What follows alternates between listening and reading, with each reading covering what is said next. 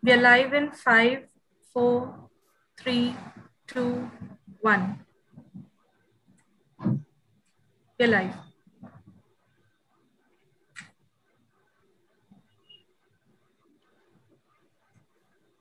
Gadegone sir, you wanted to have a welcome speech? Oh, yes. yes. Yeah. Good evening, everybody. Am I audible? Yes. Yes, sir. Yes. Good evening, everybody. I am uh, very much thankful to Ortho TV for organizing this Young Surgeons Forum by the young surgeons, for the young surgeons, and of the young surgeons. I am here only to guide this and facilitate this facilitate, this program so that the younger generation should come forward for presentation as well as dissipating their knowledge throughout the world. I thank everybody here, those who are attending this webinar and as well the faculty from, especially from USA, Dr. Ashish Shah and Panchbhavi. Both are uh, in their busy schedule, they have find out some time to dissipate their knowledge to our viewers. All faculties are here. They are well known. Mahesh Soni, Girish Motwani, Chandak Parth Gavatre, Nitin Kimatkar, Vijayanand Lokhande, Yogesh Salphade. And there are all stalwarts in the trauma surgery and this is you have started this series of foot and ankle here next time we will have a theme of infection around the ankle primary secondary infections acute chronic tubercular fungal and from the implant infections So this is how it is. And now I hand over to Manoj Pahukar and Girish Motwani to conduct further proceedings and scientific program. I request you all Yeah. uh, faculties be in time and so that we can have a better interaction with the young people all around the world. Thank you very much. Yeah, thank you, Gadegone sir. And uh, very good evening to all of you. So we are starting uh, with this uh, second session. So as you all know, this Young Surgeon Forum already, uh, we had first session on 4th of June, where it, the topics on insights into the ankle injury was discussed. And it was very successful with over 2000 viewers for that program. So the, today we are having our second session for this Young Surgeon Forum. The theme for today is about insights into midfoot and hindfoot trauma. So the convener for today's program is uh, Dr. Vasudev Gadegone, who is our mentor, the guiding uh, uh, all of us and giving opportunity to present our work on this platform. Along with me, Dr. Girish Motwani is a moderator. Uh, I must appreciate Girish for his wonderful uh, uh, designing and uh, conceptualizing of this program. And we are having uh, four eminent panelists uh, from across India, Dr. R.M. Chandak sir from Nagpur, Dr. Yogesh Salphale from Chandrapur, Dr. Nitin Kimmatkar from Nagpur, and Dr. Vijayanand Lokhande from Pune. At the outset, I must thank uh, two US expert faculties in the foot and ankle surgeon for graciously accepting our invitation. And uh, in a short time, they could give us their valuable time for our today's symposium. The first faculty is uh, Dr. Vinod Panchbhavi. He is a professor and chief of foot and ankle surgeon at University of Texas, Galveston. He has many contributions uh, in his name, but mainly I would like to highlight these innovative techniques which has developed the keyhole surgeries, especially in the fixation of pilon fractures, the endoscopic gastrocnemius release, the harvesting tendons through these mini incision techniques, then peroneal tendoscopy, the bunion surgery. He is also an editor-in-chief of Journal of Techniques in Foot and Ankle Surgery. So I welcome Dr. Vinod Panchbhavi. And our second eminent uh, USA faculty is Dr. Ashish Shah, who is an associate professor, director of uh, Foot and Ankle Orthopedic Research Fellowship. And again, he has got a vast experience and uh, various uh, uh, credits uh, to, his, to his name in various national and international uh, publications. Uh, I would like to highlight these three important aspects which he has much interest like he has written these neuromuscular disorders in foot and ankle then he has very special interest in adult acquired flat foot and tarsal tunnel release so i welcome dr ashish So friends, we are already having this first session on uh, ankle injuries. Now moving ahead, uh, we are today.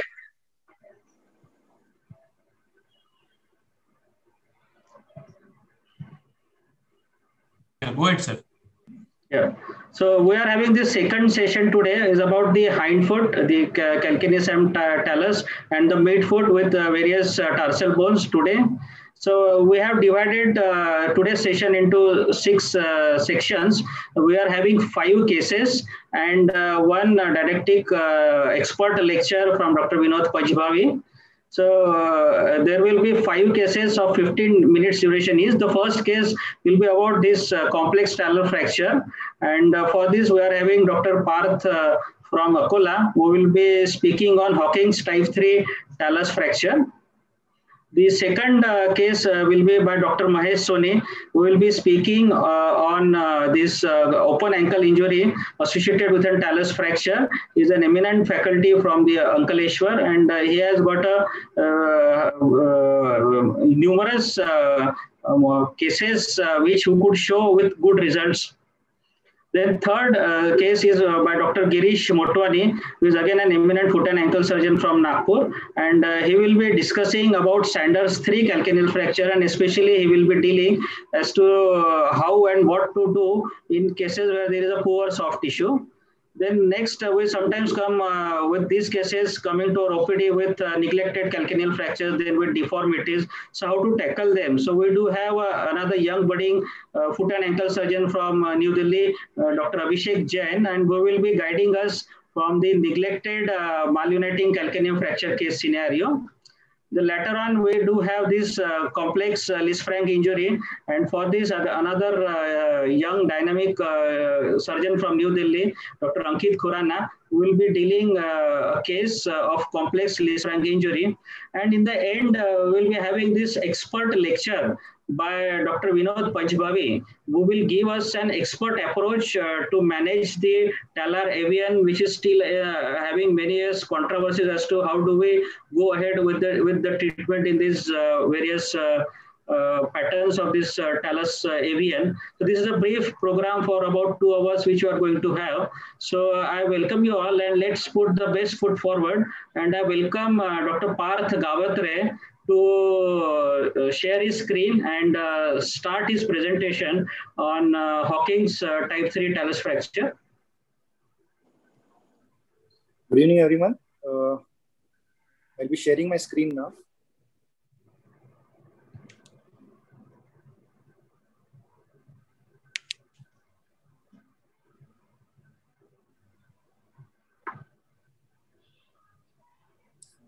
I hope my screen is visible to everyone. Yes, Parth, you can go ahead. Yeah. Okay. okay. So, uh, good evening, everybody. So, I will be starting with my case. Uh, this was a 21 year old male who had accidental fall from height in a well. The duration of trauma at presentation was five days. Uh, patient had no significant medical history. Uh, I'll be sharing the X-ray now. So this is the X-ray of the patient.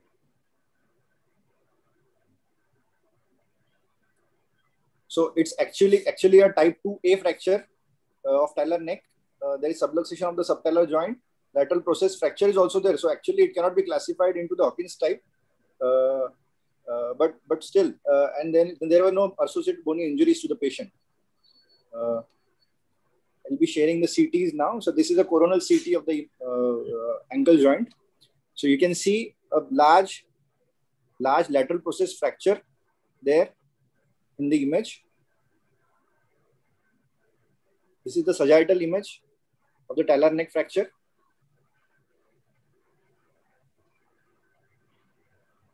This is the transverse CT image, which again shows the Come again. Hello. Go ahead. Go ahead, yeah. Okay, okay. So uh, this is the transverse CT image which shows a talar neck process, uh, talar neck fracture along with the lateral process fracture. So actually, in this uh, uh, in this particular case, instead of the varus malalignment that we usually see in such fractures, we had valgus malalignment because it it it had some other associated injury also. So uh, this was the 3D CT image of the same patient again. Uh, so the issues that I faced in this case were there. The, there are two types. There were the skin uh, issues and the bony issues also. The patient has hemorrhagic distress. There was significant edema that was there.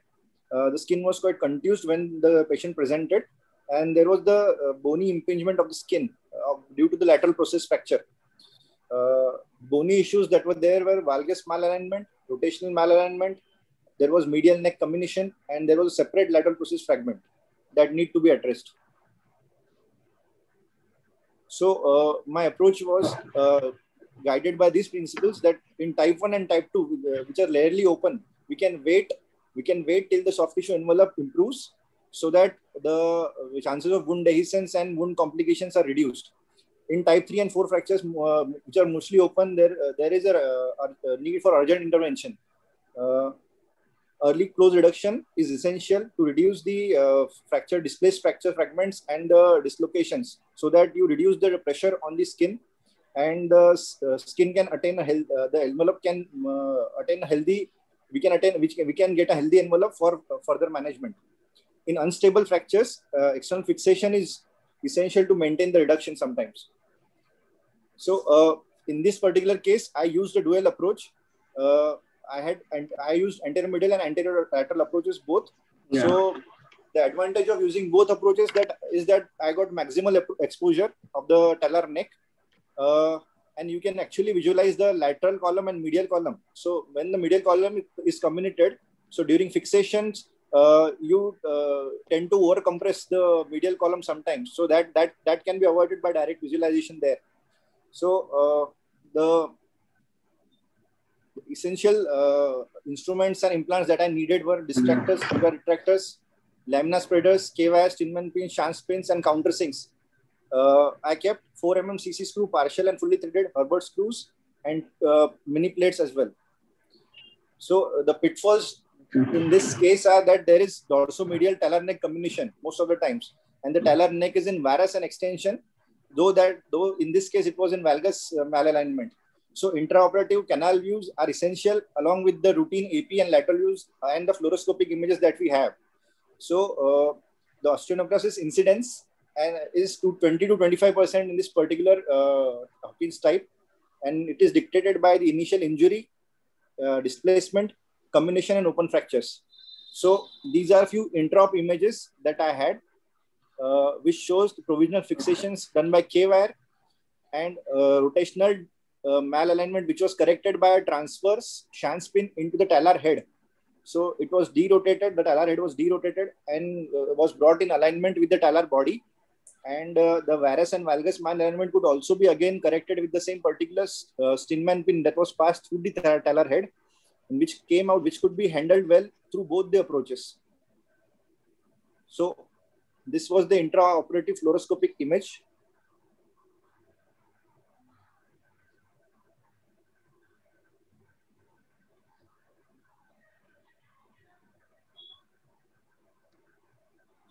This was the X-rays of the patient at one and a half months. And again, the X-rays at four months follow, which was showing quite good union. So these were the clinical images of the patient at five days and at four months. So the scar and everything was healed. The skin was uh, in good shape and the range of motion of the ankle at four months.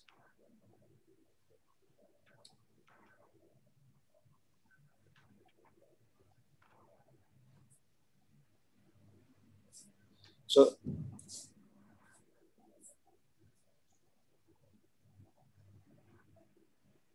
the patient was allowed full weight bearing at four months. The patient was quite comfortable. There was no antalgic gait.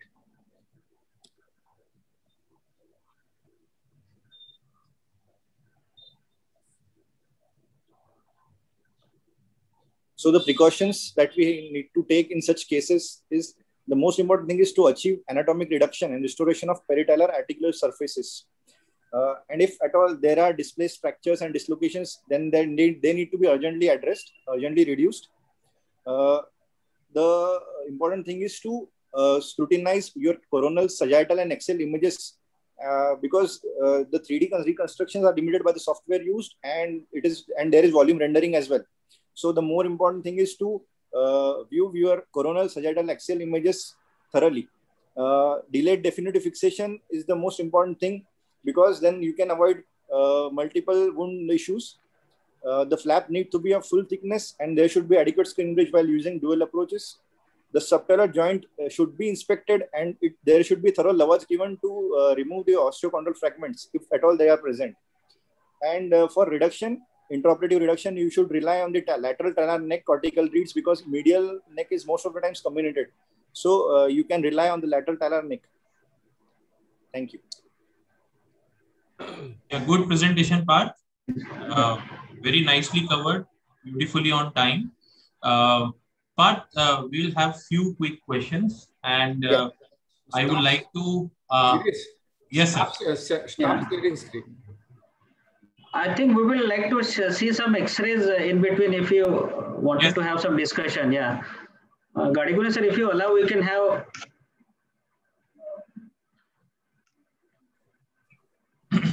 Uh, I have one question to uh, ask to uh, Dr. Parth. Yes, Parth, sir. Can you can you please put your uh, pre-operative X-ray?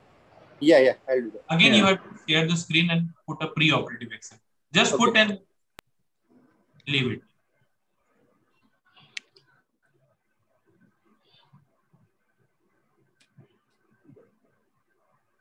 Yeah.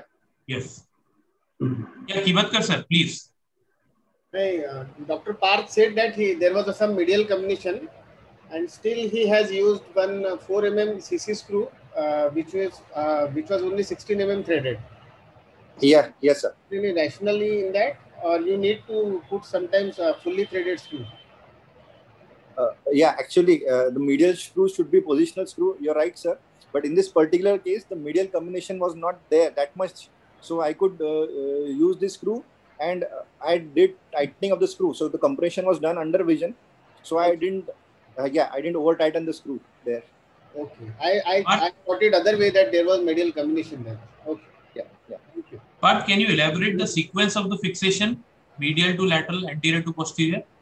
Yeah, I can show the images also, intraoperative. So the provisional uh, fixation was done by K-wire. So the lateral process, in the first image, you can see the lateral process has been fixed and the K-wires, one wire is pushed transversely, transversely through the talar head. So it was used to derotate and get it into the into reduction along uh, uh, with the talar head, uh, with the talar body.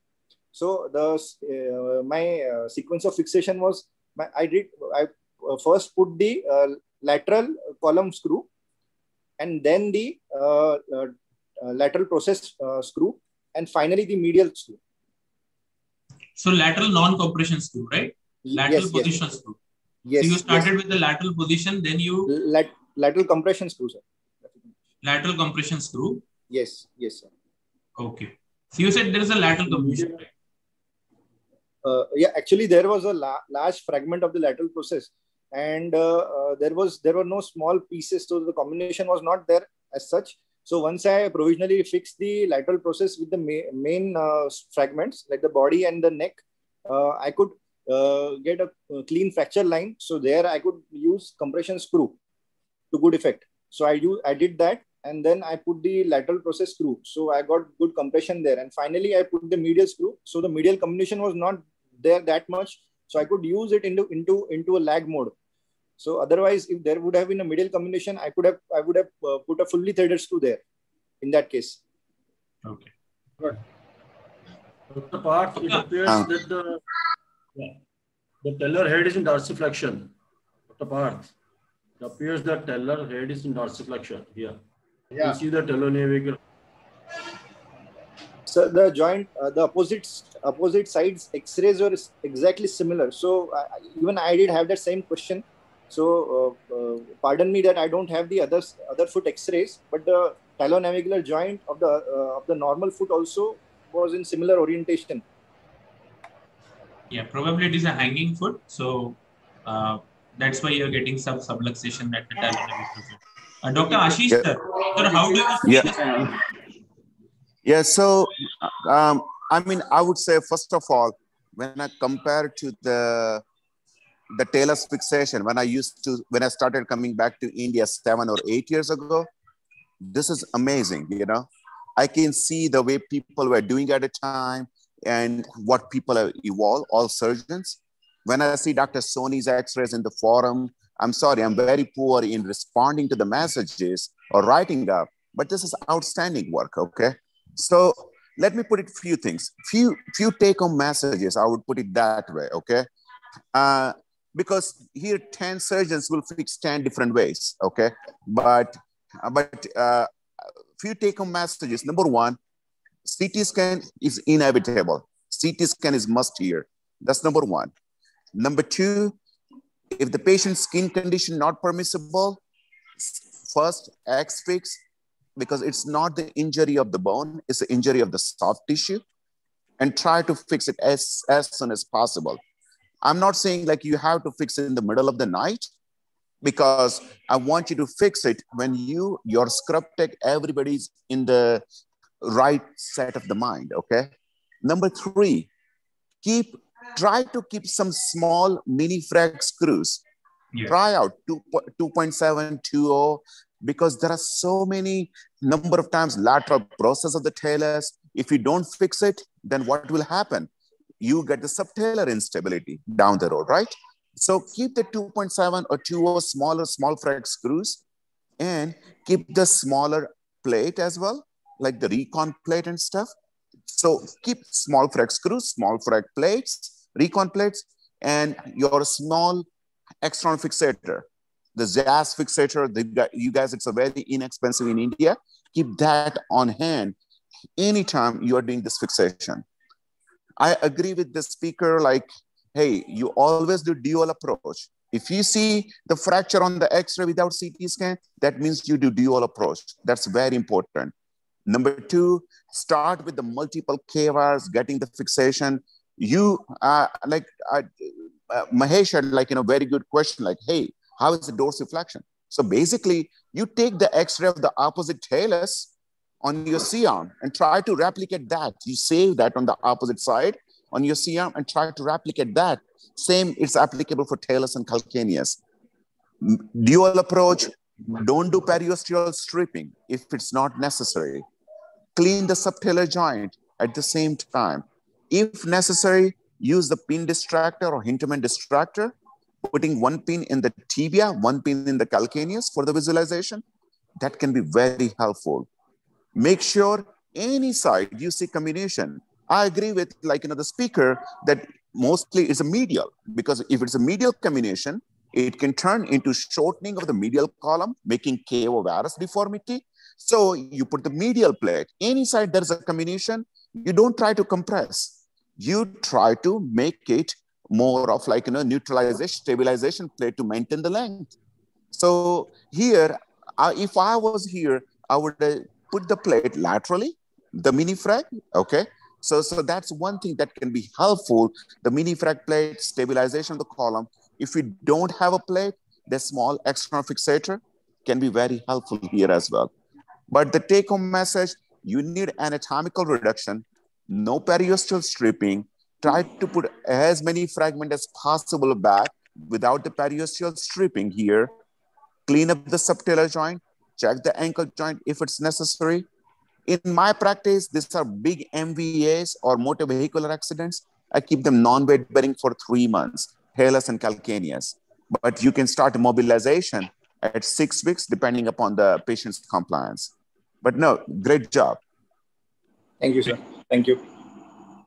Um, yeah, my, yeah. Like yes, sir. The screw in the same way or PA screw? PA screw. What is your preference? Posterior to anterior or anterior to posterior? I I love PA screw because biomechanically it's a more stable and solid construct. Okay. And I'm not violating the talonavicular joint either. Like number one, my stress fracture of the talar neck or undisplaced fracture or displaced fracture. Once I stabilize, I do PA screw. But if, if you're doing for the first few times, if you're not done more than 20, 25 taluses, do the AP entry to posterior, okay? Then slowly, once you are okay with the learning more talus and comfortable, start doing PA screw. It's very satisfactory and it's a beautiful fixation. You will be, have so much satisfaction getting the compression and as well as uh, the fixation across. Yeah, Ashish sir. One question. Yes. Sir, sir, if intraoperatively, if you find after opening the talus in the dual approach, if you find a small, small osteochondral fragments, I mean the small osteochondral uh, pieces which were not fixable, and like the path is shown on the lateral side, there were a lot of, I mean, because he has not done the lateral malleolar osteotomy, so probably he have not seen those fragments. So intraoperatively, if you find that these are a very non-small fixable fragment, how can we uh, manage intraoperatively? You, you ha- if, let's put it this way, if it cannot take a K-wire, then it cannot take 1.7 or 2 or screw. If it cannot take a K-wire, if it's small fragments, you have to take it out because this will become more of a loose body and yeah. like, you know, more of painful in the future. And again, if the patient is young, like the way we do, like, you know, it's, we consider more as an OCD, you can little, make a poke hole, do little micro fracture, and hopefully it will generate some fibrocartilage there. Right. Yeah. Th- thanks, Parth, for such a wonderful case. Can you stop sharing your screen now? Yes, sir. Yes. So yeah, yeah. So thanks for all this wonderful discussion, especially Dr. Ashish and all the faculties. Uh, now we move ahead to our uh, second case for today. So now may I invite uh, Dr. Mahesh Soni sir uh, to start his presentation and he will be presenting a case of an open ankle injury associated with a talus fracture.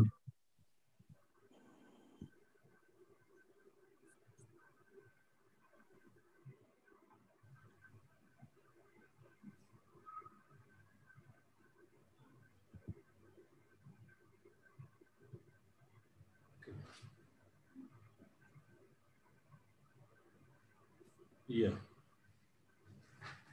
So uh, this is more of an uh, uh, ankle fracture associated with talus fracture. This is a young male. I am audible to? All? Yes, yes, yes, yes, yes. Yeah. So he's a young male of around 30 years, presented in the night at around 10 p.m. with open injury. this is the initial wound. Uh, the deltoid was popping out from the medial wound there was uh, fibular comminution. There is sagittal fracture of the talus with a caput fragment visible here. So the, these are the problem, open injury, torn deltoid ligament, uh, sagittal fracture of the talus body, caput fragment, and fibular comminution. The management protocol uh, would be a primary fixation because it's an open wound or span scan and plan uh, uh, in a uh, stage manner. So at this time, uh, we have some question answer. Uh, should I proceed? Yeah, I think yeah, we can have opinion from Dr. Ashish if uh, what would be his plan uh, yes. to proceed further in this case here. So uh, definitely. So I take trauma call like once once a month, and we see this type of things. But you guys see this type of fracture dislocation more than we see here. Uh, first of all, okay. it's number one, it's very important that thorough debridement external fixator, right? Because it's not the only the bone injury, but soft tissue injury. You put the external fixator in the first stage and soft tissue debridement. You clean out, you wash out with the nine liter of normal saline take all of the bad stuff out, IV antibiotic, whatever the protocol that we have, right, to prevent infection. Yeah. And I will not let I will not sit on it for months or weeks. But what we do, we put the here, at least in states, we start with the external fixator, clean up everything, take the patient in the surgery again in 48 within 48 hours. Okay. Then go for the definitive fixation at the time. Yep. Yeah. On the same day, same night, you yeah. will go for same night. Yeah. So same same night. I see, the thing is, uh, I I put it in this way: putting the external fixator is a 20 minutes procedure for you, right? You put the external fixator, clean up. Yes, this is 3B, and if it's contamination, Yes, you, you better just do it same day or same night. I agree with you. Yeah. Uh, Abhishek or Ankit, do you have any another opinion uh, for this case? Like, do you do this thing differently or you even do it at two stages? So obviously, uh, st stage management is uh, something that I would prefer, and uh, I would uh, uh, if if these patients do present and they're fairly common in our part of the world, and yeah, uh, yeah. so my priority would be to fix the talus and to span the ankle, letting the plastic surgeon do his job at the same time or in a staged way and then going on to definitive fixation of the ankle fracture in a subsequent sitting. But uh, talus fracture, if I'm going in, putting in an external fixator, I would put in the screws for the talus uh, at the very first go. So that would be my uh, way of yeah, managing. That's addition. That's a, yeah. That's addition you will do. Yeah. Yeah. Yeah. Soni sir, proceed ahead. Uh, I did in the morning. This, this, this fixation, this was done around six years ago.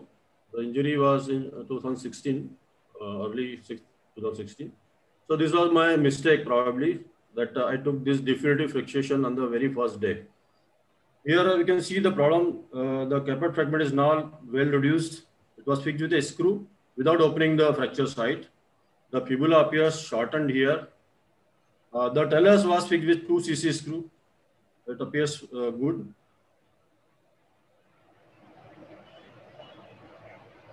So the reduction was not proper, caput fragment was not uh, was malreduced, then there was fibular shortening.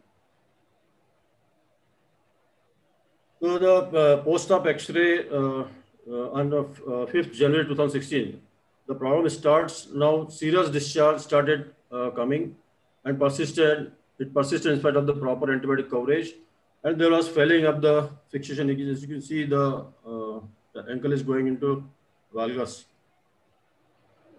Again, follow-up X-ray in the February 2016, the ankle joint uh, was swelling.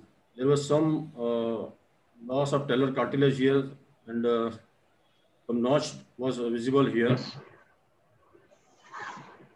So after say eight, nine months uh, of the initial injury, I took the decision to fuse his ankle.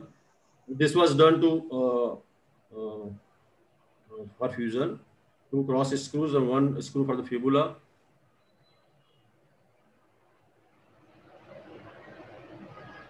Follow-up X-ray, patient present, presented with broken screw while walking. He was allowed to walk and he presented with broken screw on the fibular side and pain on the medial side on walking. This is the final follow-up, three years post-injury. The ankle is fused. The broken screw is visible. Patient is walking. These are clinical photos of the same patient. This was the site which was operated. This is the gait video of the same patient. There is some valgus malalignment, but he is comfortable. So now we can proceed for the discussion in this case. So, uh, question, Mahesh. If this patient comes right now to you, let's say tonight, yeah. what would yeah. be your, what would be the next? Take us through the step by step. Yeah, now I will go for the uh, uh, the stage planning like uh, debridement and X-fix on the very first day and probably talus fixation in the same sitting. Then I will go for the CT scan. Then we'll go for the formal open reduction of the fibula and the caput fragment to get the things in proper place. And as you said, uh, thorough debridement is must to prevent the infection. The, this case was failed because of the infection. Also, the fixation was not, were not up to the mark. As you can see in the previous X-ray. Yeah. This is the image. Uh, this is the post-op yes, X-ray. Yeah. Yeah. So can anybody comment on what could have been additionally done at this stage of fixation? Like, yes, do please. you feel the ankle is still subluxated, the fibular distraction and shortening is still there? the inferior tibial fibular joint syndesmosis is still not reduced. So what are the problems here? Like, can anyone? Yes, Ashish sir. So um, one one comment here before I move forward. Um, you know, I, I hear the comment of fixing the talus in the same sitting. But just think about when you don't have CT scan, when you don't, when you know there is a deltoid injury and stuff, you can't fix anything, specifically this type of polytrauma patient. So I would, I would advise or I would recommend when you see this type of fracture dislocation, you don't need CT scan right away. You debride, put the X fix, and do CT scan after putting the X fix. With the ligamentotaxis and stuff, you'll be able to reduce so many fragments. Okay. And yeah. then you can plan out better with the surgery here. So that's a very important. You do debridement, X fix, then you do CT scan for this patient. Okay. So that will save the money. I agree with the we the our learning talus neck fracture fix ASAP. You know, we should do on the as soon as possible or emergent basis. But at the same time, talar neck or talar body. But if I don't know more of the geography or more of the, you know, uh, about the fracture, I'll be little hesitant to do the fixation. Uh, sorry. And the next one, what, what was the question, sir? Please, can you tell me?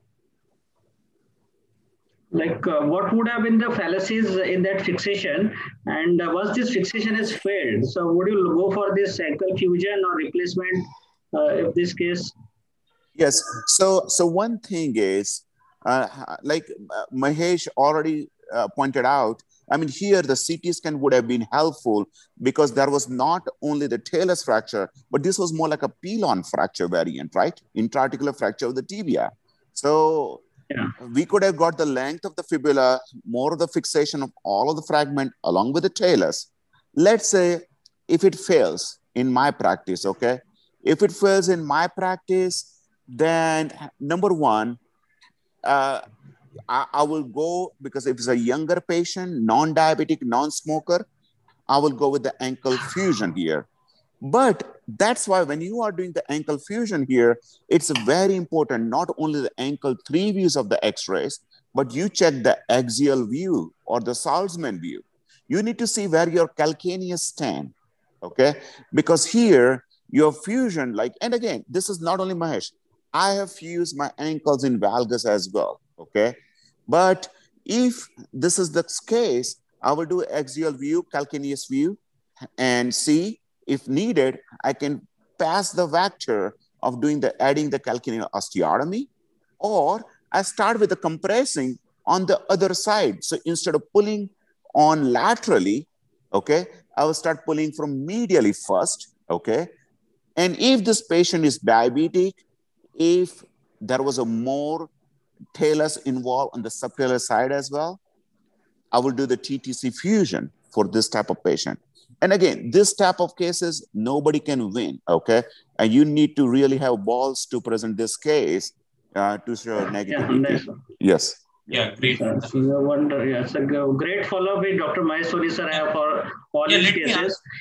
Yeah. Let me ask Dr. Vinod sir in, in, in summary, the last, uh, this was the sequence of the open talar injury open ankle injury with the uh, with the medial big wound. Uh, Mahesh sir, can you please put on the first X-ray, first clinical picture, and so so so this was our beginning of this case. I hope you have not seen it. So and whatever you have seen in your in the follow-up thing, it has gone into the ankle fusion uh, after the control of the infection. So, sir, if you are dealing the same situation, what is your plan on day one? Oh, this is an interesting case. So um, obviously severe soft tissue trauma, uh, which we don't see on x-rays, and obviously we have a clinical picture with a complete disruption of the deltoid ligament, you see. So you have no medial uh, stabilization structures here uh, for the ankle. But you know, you have an opportunity to use that wound to get the talar body fixed very well, okay? So, you know, obviously the principles are the same. So we need to get the talar body or the talar fractures reduced first, and then restore the length of the fibula. See, so it's very comminuted. So you don't want to devascularize those fragments, but yet you need to get the length right. And there might be a disruption between the, um, the fibula and the tibia, but you also see an anterolateral fragment. You see the anterolateral fragment of the distal tibia, you see, which there might be an anteropost, uh, sorry, posterior lateral fragment as well of the tibia, uh, which we don't see on this AP radiograph. So we need to figure out, you know, how this injury occurred. So, you know, there was a, a comminuted butterfly kind of scenario for the fibula. See, so the forces it looks like a severe abduction forces, which has knocked off. Uh, we, what we can see is an anterolateral fragment of the distal tibia and possibly the posterior, uh, posterolateral fragment of the distal tibia and completely took off the medial deltoid structure. Therefore, you have a transverse wound, you see. So everything failed. It's a severe form of abduction injury, which is actually knocked off the tibial, uh, sorry, the talar body as well. You know, you kind of have a vertical fracture going back from anterior to posterior aspect of the talus, talar dome. Obviously, you know, debridement, you have to do a debridement, thorough debridement. And, uh, you know, you start fixing. Uh, you can certainly, uh, you know, get the length of the fibula. Um, if the soft tissues allow you, which I think you should, which is within 24 hours, you are seeing this, right? I, I hope so. And, you know, you, I, I used uh, vancomycin in irrigation, uh, you know, and everything possible to prevent uh, infection in here.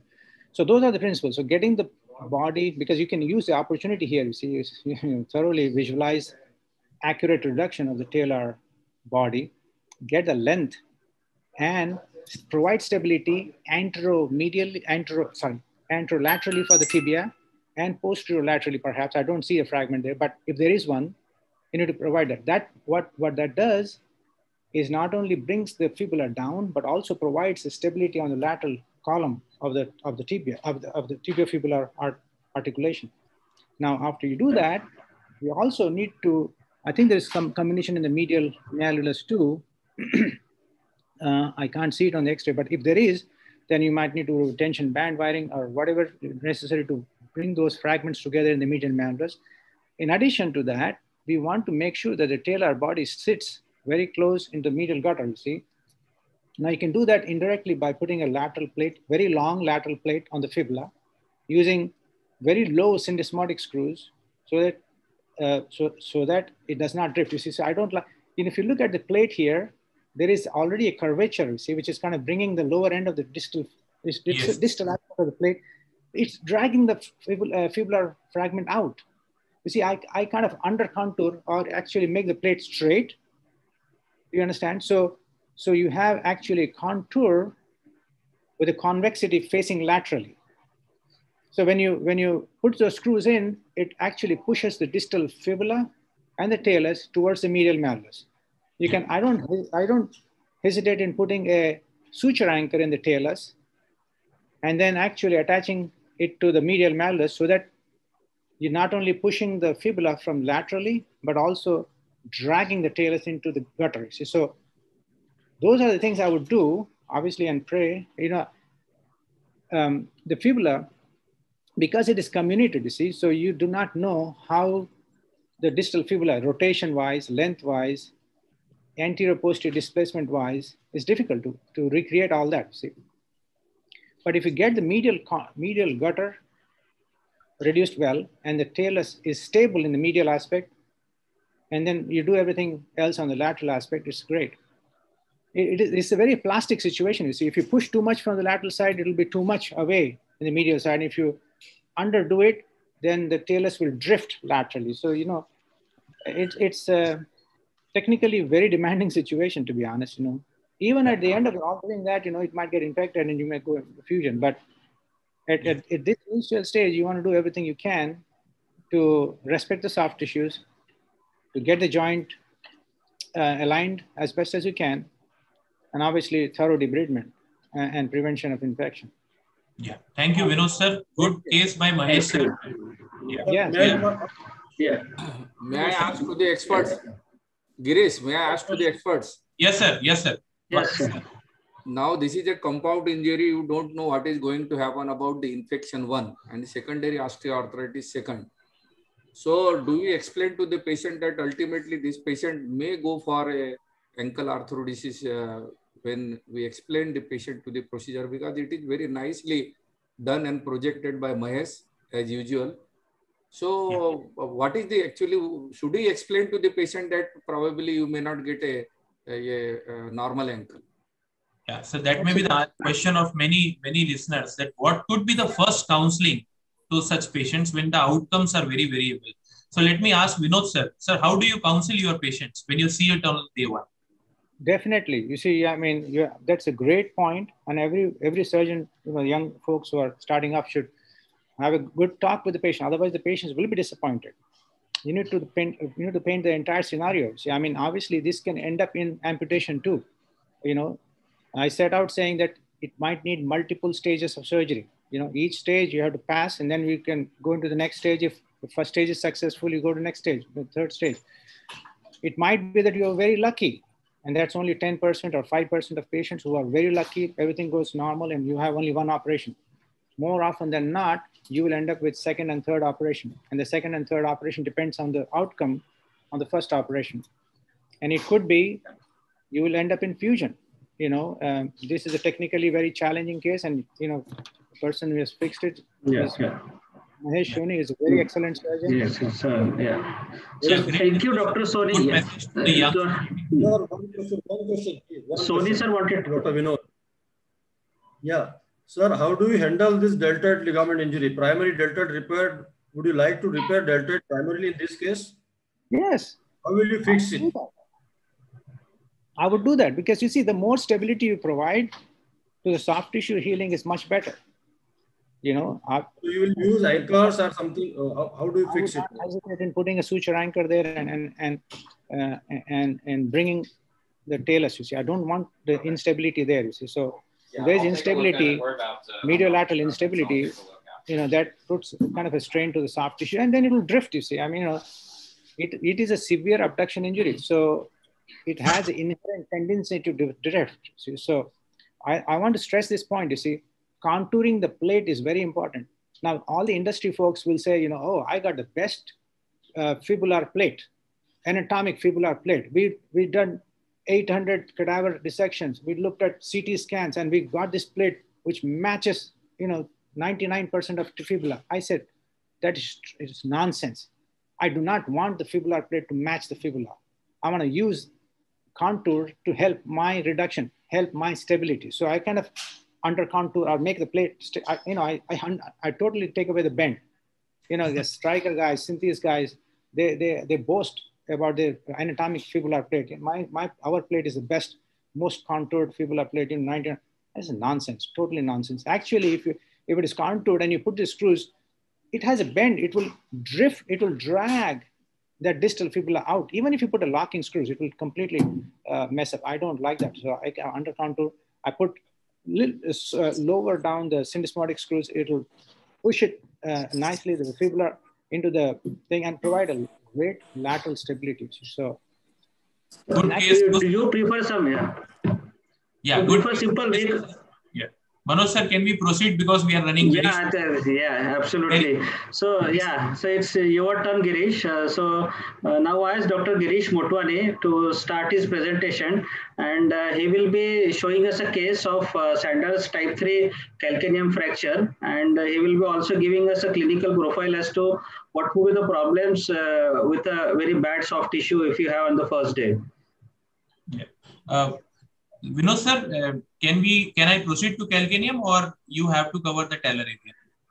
Um, I don't know how much how much time do we have right now. Um, okay. you, I have a case ankle arthrodesis uh, arthroscopic, so it should take me another half an hour to. It's not yet on the table.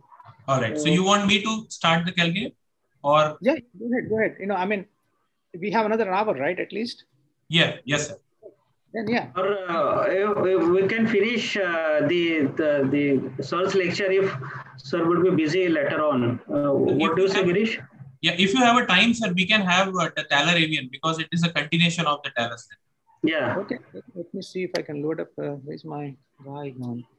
Um, let me see if I can share my screen. Oh, there you are. Uh, let me. Sorry. This is Apple computer. I don't use it, you know, my, somebody got it. There you go, it's opening up. Girish, by that time, can I ask one question? Yes, yeah, sir. yeah, please go ahead. Please. Yes, sir, yes. So, in, the, in the previous case, uh, uh, in the uh, first instance, use of a vac would enhance the tissue healing? Uh, I mean, the thing is, you don't know how infected tissue that you left. Oh, My point is, we we are just more of doing thorough debridement. You can put a vac. Vac can be a good dressing instead of any other dressing. And when you are taking in 48 hours, see that what else immediate plastic coverage, or you can close it or put the wound vac on it. Yeah. Okay.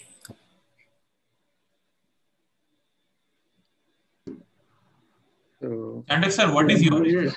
otherwise in the use of the vac in foot and ankle? Yeah, I find uh, in such injuries tremendous benefit in the Okay. sense, in the sense the edema drastically drops down. The, the whole Okay. edematous tissue after a compound injury that that is taken away. And even even the use of a surface vac also helps is what my experience is, especially after a complete debridement. Of course, not not not without a complete debridement. So you're here, it's loaded up. Yeah.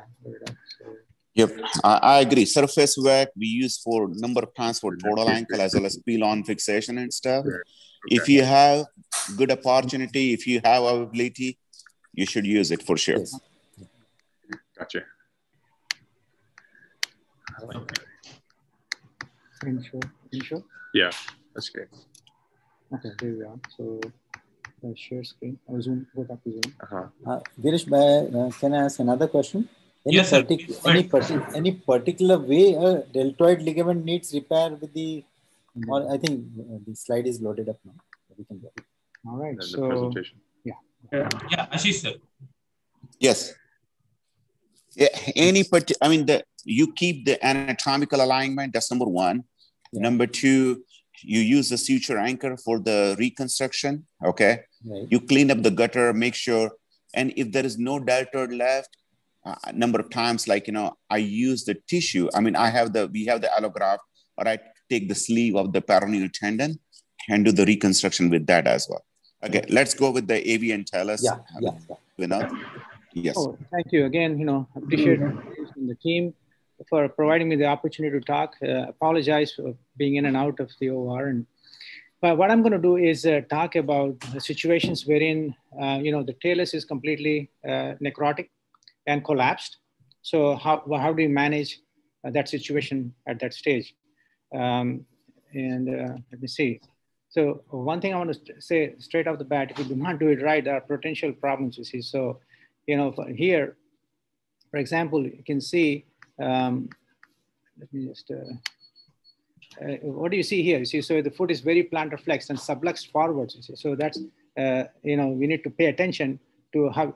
I'm going to be talking about hindfoot fusion because you see when we have a talar body necrosis, then you are dealing with two joints. This is the ankle joint and the subtalar joint, and and the best scenario to salvage this situation is often a hindfoot uh, fusion nail or hindfoot arthrodesis. But for that, you see, positioning is absolutely critical. So I want to show you know what happens if you don't get the position right. So here it is dorsiflexed and and and subluxed forwards. You see, because you know you have problems up and down the chain, if you do not get it right. So that's very critical.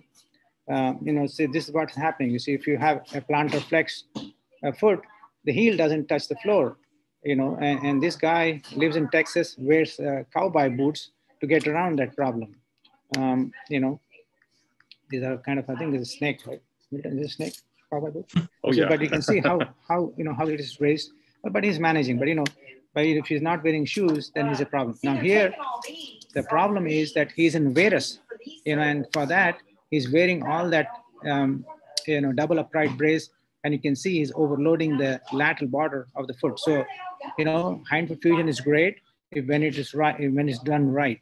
But if you do not do it right, they are permanently uh, having some problems like this. You see, so depending on uh, special shoes or orthotics, and even then they continue to get callous. You see, and, their walking is difficult and, and painful. So I'm going to show you some technical aspects of how I do these things. You can certainly use uh, different uh, positioning uh, uh, um, you know, um, uh, on the table. This is a lateral positioning. You need to have kind of a platform. You can use a bone foam or whatever, but you need to make sure that you, you put the position in such a way that you will not only get a good lateral, but also, uh, this is a laser beam, you see, but also a good alignment in the tibiocalcaneal weave align, uh, view. See, it's very, very critical. I think Dr. Shah mentioned, you know, where you start the nail, uh, you know, in the calcaneus is very important. Uh, you can see, you should be able to see this kind of projection. That's the tibia, that's the calcaneus. You can see that the entry point is not in the middle. You know, I, I have done this mistake myself.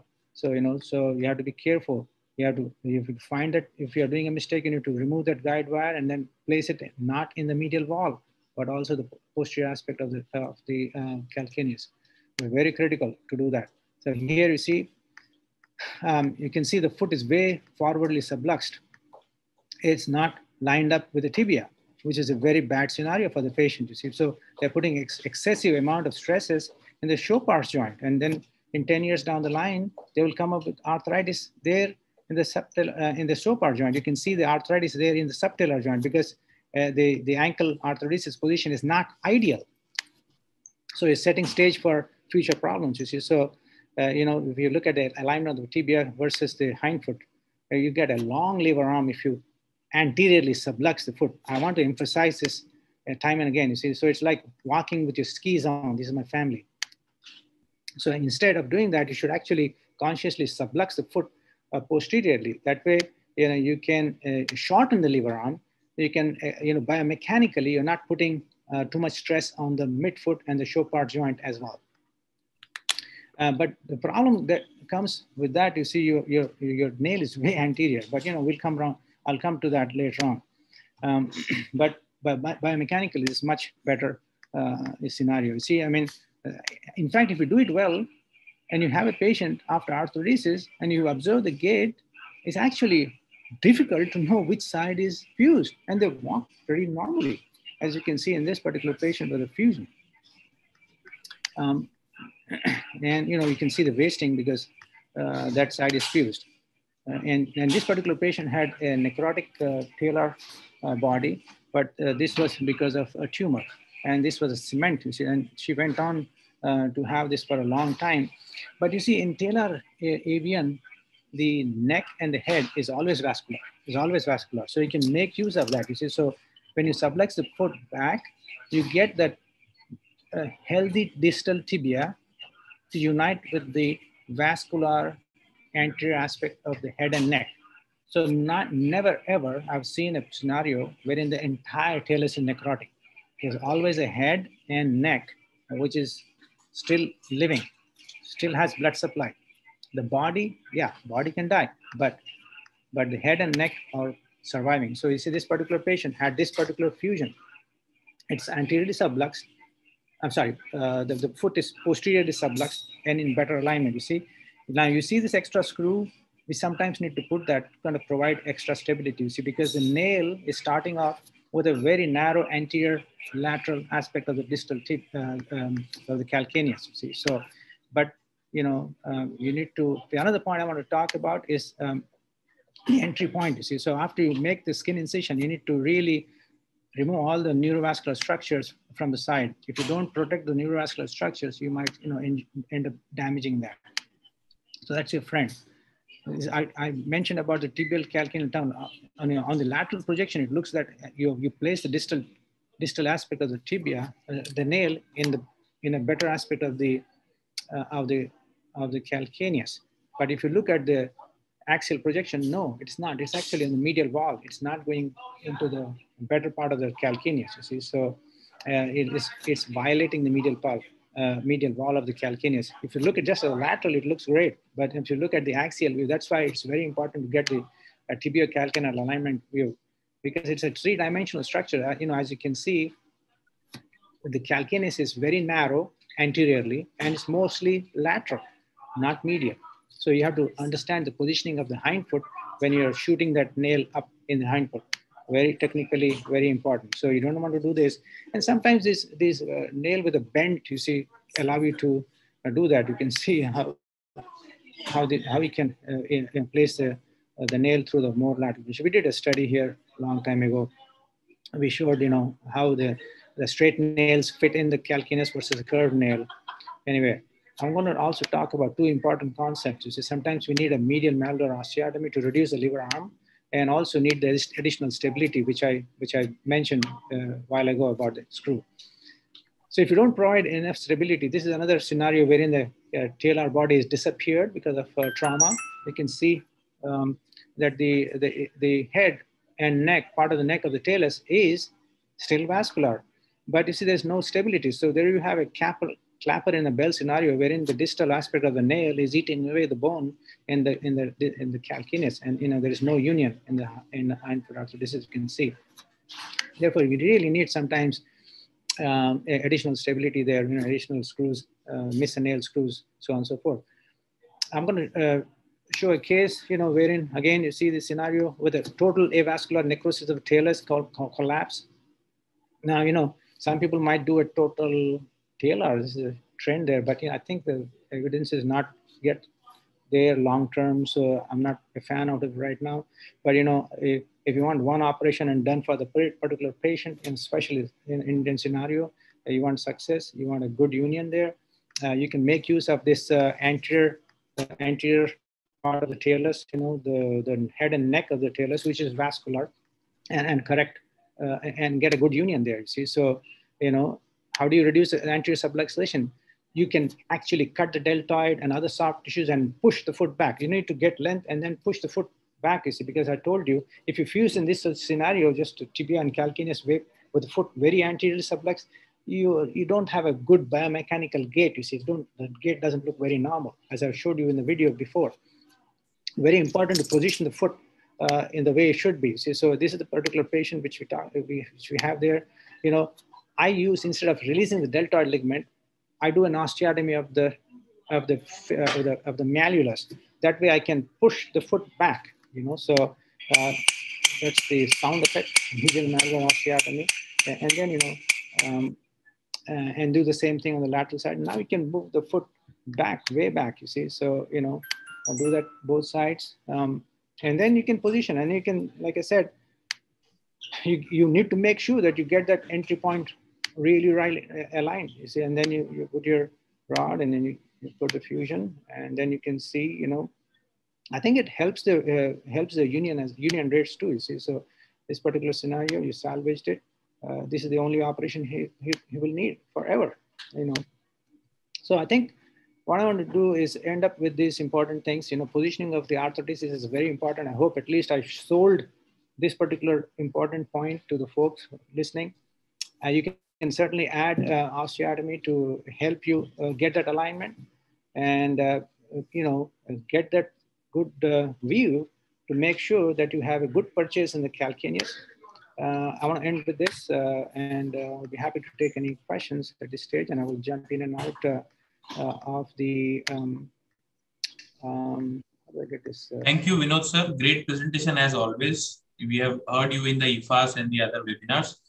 Um, Sir, few quick questions. Uh, uh, so let's start with the how do you uh, how do you manage when you so if so if you are seeing a post traumatic talar AVN, uh, how do you uh, categorize for uh, such patients in for the conservative for the for the for the fusion or for the core decompression if it is a third option for you?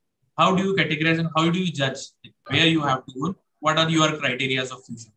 Thank you, Girish. You know, I just jumped straight into the, the worst kind of scenarios with uh, uh, avascular necrosis. You know, obviously, we do not, we want to, you know, um, certainly offer conservative management options to our patients. Um, you know, start off with, uh, you know, I tell my patients, you know, the reason they are getting the pain is because part of the ankle and part of the hindfoot is arthritic or, uh, you know, pain generating um, joint or uh, there's distortion there. So you know, uh, there's a spectrum. Sometimes the vascular necrosis is totally uh, as, as, as advanced and as severe as you've seen in those examples, but sometimes not. Um, so certainly uh, orthotics, uh, you know, you can get the over-the-counter orthotics like ankle support. I tell them, you know, you need to have something around the ankle like you like this English folks used to wear a tight corset around the waist, a corset around the waist, so you can have a tight ankle support around the hindfoot. That way, um, you can um, you Hello. can you can you, you can. Uh, um, will you talk to me? Do you have a minute? Uh, just one moment. One moment. Uh, can I? Uh, um, Yes, Yeah, I, I, yeah. Yeah, yeah. uh, let's yeah, conserve please, it. yeah, I need to, uh, I need to just uh, come back in a few seconds, okay? Sure. You can just stop sharing, sir, yeah. Yeah, I'm going to stop sharing. Yes, yeah. Okay. Yeah. That's great, yeah. Okay. So, uh, I mean, that's a great talk. And this is very good. Uh, you know, uh, this is the procedure that you guys will be doing very often in India, the TTC fusion, right? So, couple of things. The AVN of the talus, the core, after failure of the conservative management, core decompression is more successful for the AVN of the talus without post-traumatic, basically with the steroid use or rheumatoid or lupus. That is where core decompression is more successful than the post-traumatic. Okay, I mean that's proven in literature. But again, if the post-traumatic comes with AVN, as long as the patient understands, you know, and they're okay with that, then perform. That's one thing. Okay. Uh, number two, conservative. Here you cannot win this battle. I know. I mean, it cannot be successful fusion for in the one stretch for this patient. Okay, when you are doing this for the AVN of the talus. So, a number of times there is so much deform. So when I do the surgery here, I, I start with the percutaneous tendo Achilles ligament. So basically, when I do perc TAL, I'm just getting rid of the liver arm, and so I can reduce the talus, whatever the fragment. Okay, then I come laterally. I do the fibular osteotomy, so I can have access to the talus or calcaneus. If there was already anterior approach used in the past or any other approaches, I use that approach.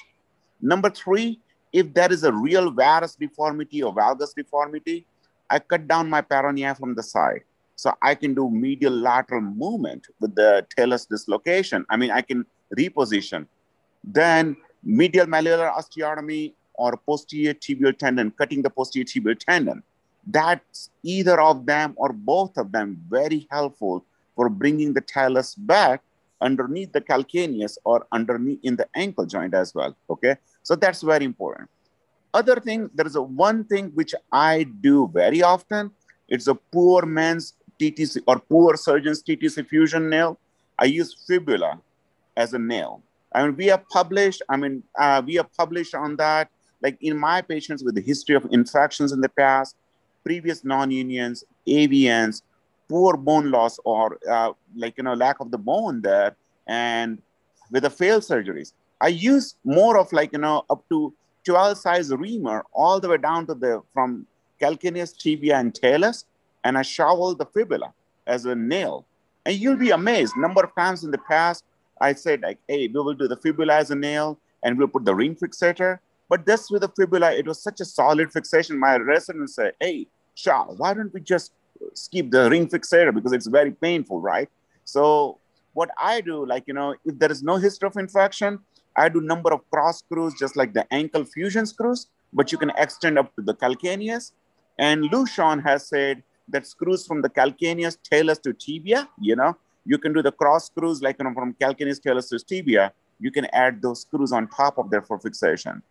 What you can do if you're doing this AVN talus, if you're not using fibula as a strut graft or nail, you take the fibula at the level of syndesmosis and chop it on the side of the table with the rongeur or saw blade, use as a good autograft, and you pack it the fusion side. You take the you take the graft from medially, you pack it at the fusion site, and like you know that can be also useful here.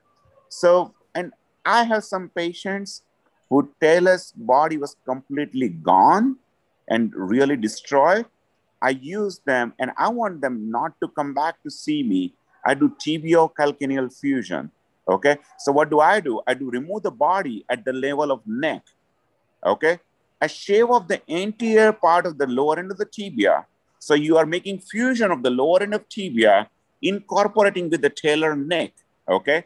And you are making fusion between tibia and calcaneus. So it's very important now you are making solid stability of the transverse tarsal joint as well as the fusion side. So, so that can be helpful, the, but again, it will make shortening for the patient as long as the patient understands and you don't want to do multiple surgeries. And the last take home message, total talar replacement, talar allograft replacement, it looks fancy and sexy in the book or in the video. You don't want painful patient to follow you and ruin your reputation in the society. And it's very expensive as well. May I ask one question, Ashish sir? I have one. Sir, whether you do the surgery in, um, whether you do the surgery in tourniquet, because you so much manipulation and there are term, we are dealing with the terminal neurovascular bundles. So is it possible that while doing a manipulation under tourniquet, it is possible to injure the vascular structure because we are stretching too much medially, laterally, posteriorly, anteriorly? In a TTC, I mean, that, that, that's see that you, you, that's a very good question. See, that's the reason I mobilize the ankle and subtalar, first of all, by removing the Achilles, okay? Because you don't need Achilles tendon after TTC fusion, okay?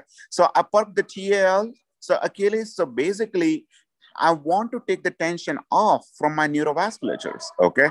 So I perk the TAL, take the Achilles out, take the peroneal out, and when you remove the medial malleolar osteotomy or taking the medial malleolus at the level of the ankle joint and taking the fibula at the level of syndesmosis, it has such an amazing power of manipulating and bringing the thing together without damaging the neurovasculatures. Yeah, Nitin sir. Yeah. One question: Does these TTC fusions are different from uh, what we do in diabetic fusions? Like uh, talar AVN as well as diabetic fusions are different or we do more augmentation in diabetics or something like that? Yeah, so it's it's pretty much similar. The principle of fixations are similar. The position, like you know, neutral position, five to ten degree valgus, it's all similar. The diabetes patient, you do the multiple point and more fixation, right?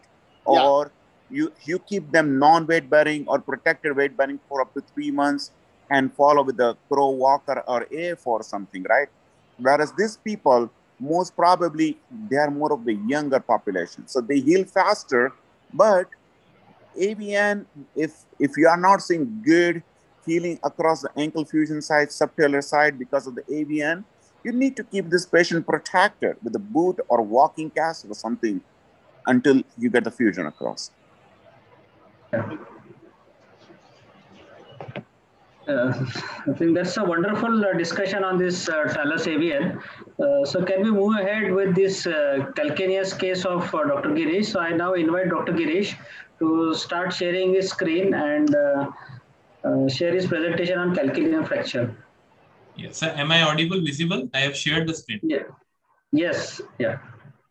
Yeah. Thank you, Ashish sir, uh, Vinod sir, for the uh, great discussion on the talus. And now we are moving little down below the talus and now we are on the calcaneus.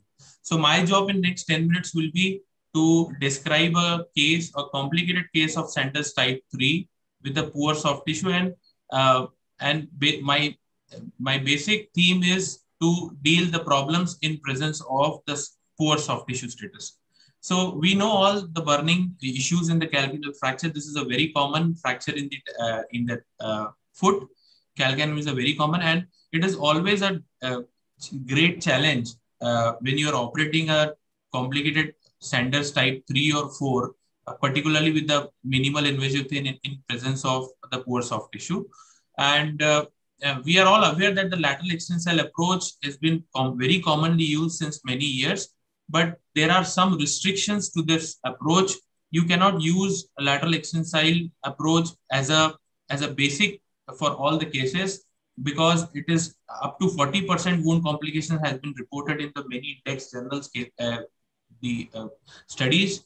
And uh, also it is not suitable when your case is a chronic smoker or uncontrolled diabetes or in presence of a poor collateral circulations or when you have waited for the long time 14 days, 15 days, 20 days, and still the soft tissue swelling is bad.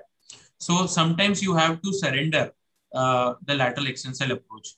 And uh, there are many percutaneous approach which have, which have been mentioned and the people are doing it very regularly. But many times it is just a play, particularly in presence of a, a, a depressed fragment. And uh, radiology, they actually misguide us regarding the actual elevation of the fragment in presence of the uh, true depression type. So percutaneous techniques are good for the tongue type, but not for the uh, for the depression type. And there are many complications. We are all knowing varus, valgus, subtalar arthritis, loss of the calcaneal width and the height. So my case, uh, so so this all leads to the dysfunctional foot. So I will describe a, a minimal invasive sinus tarsi approach in my case, which look like a balance between an open extensile and the percutaneous fixation. And uh, here, everything you see uh, in front of your eyes is a small surgical window, and you can manipulate and get an optimal uh, results. So here is a case of 30 year old male. He is a civil contractor. He fell down from the uh, from the height of almost uh, 25 feet, and this was the presenting X-ray. So let me ask uh, Chandak sir. Sir, are you yeah. there? Yeah, yeah. So, so let me ask, like, how uh, you see uh, uh, such kind of injuries when they present immediately after uh, fall from height? Yeah. So first two or three days goes away in managing the swelling and intense pain which they have. So I will just put them into observation, elevation, ice therapy, and uh, uh, appropriate edema reduction measures. I would put uh, a watch on uh, neurovascular if they have any other injury, etc. And uh, counsel them for a surgical procedure, say around 10 days to 12 days down the line, once the wrinkle sign is there. That is what my initial protocol would be. Okay, so one is you you nicely managed that nicely mentioned that uh, soft tissue status is very important, and this yes. will di dictate you about the time of surgery. Uh, Lokhande sir. Yes, sir. Yeah. Sir, uh, any other thing from the soft tissue which you see on day one, or how do you see such injury in a young patient? Is a need of surgery always mandatory? Yes, definitely in such uh, depressed fragments where one part of the subtalar joint is not there in its position. It is important to bring it back there.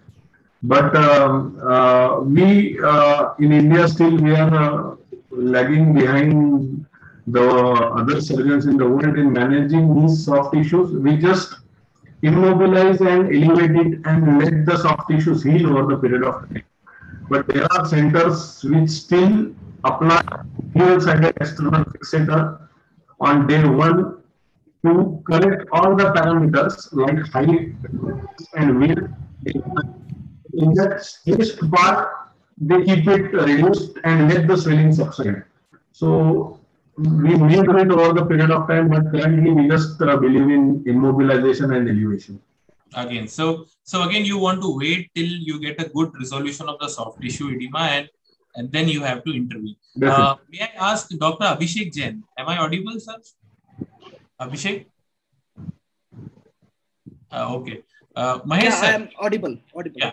Yeah. Oh, yeah. Uh, Abhishek, how do you see the need of CT scan in such injuries? CT or scan should we directly proceed to the uh, surgery? CT scan is mandatory for any operative intervention, even if you do MIS or lateral extensile approach.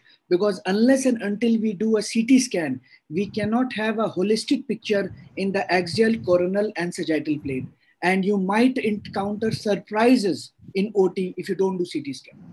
Uh, Abhishek, what what do you see like uh, uh, what else you see apart from the plain X-ray in the CT scan, which changes your management intraoperative?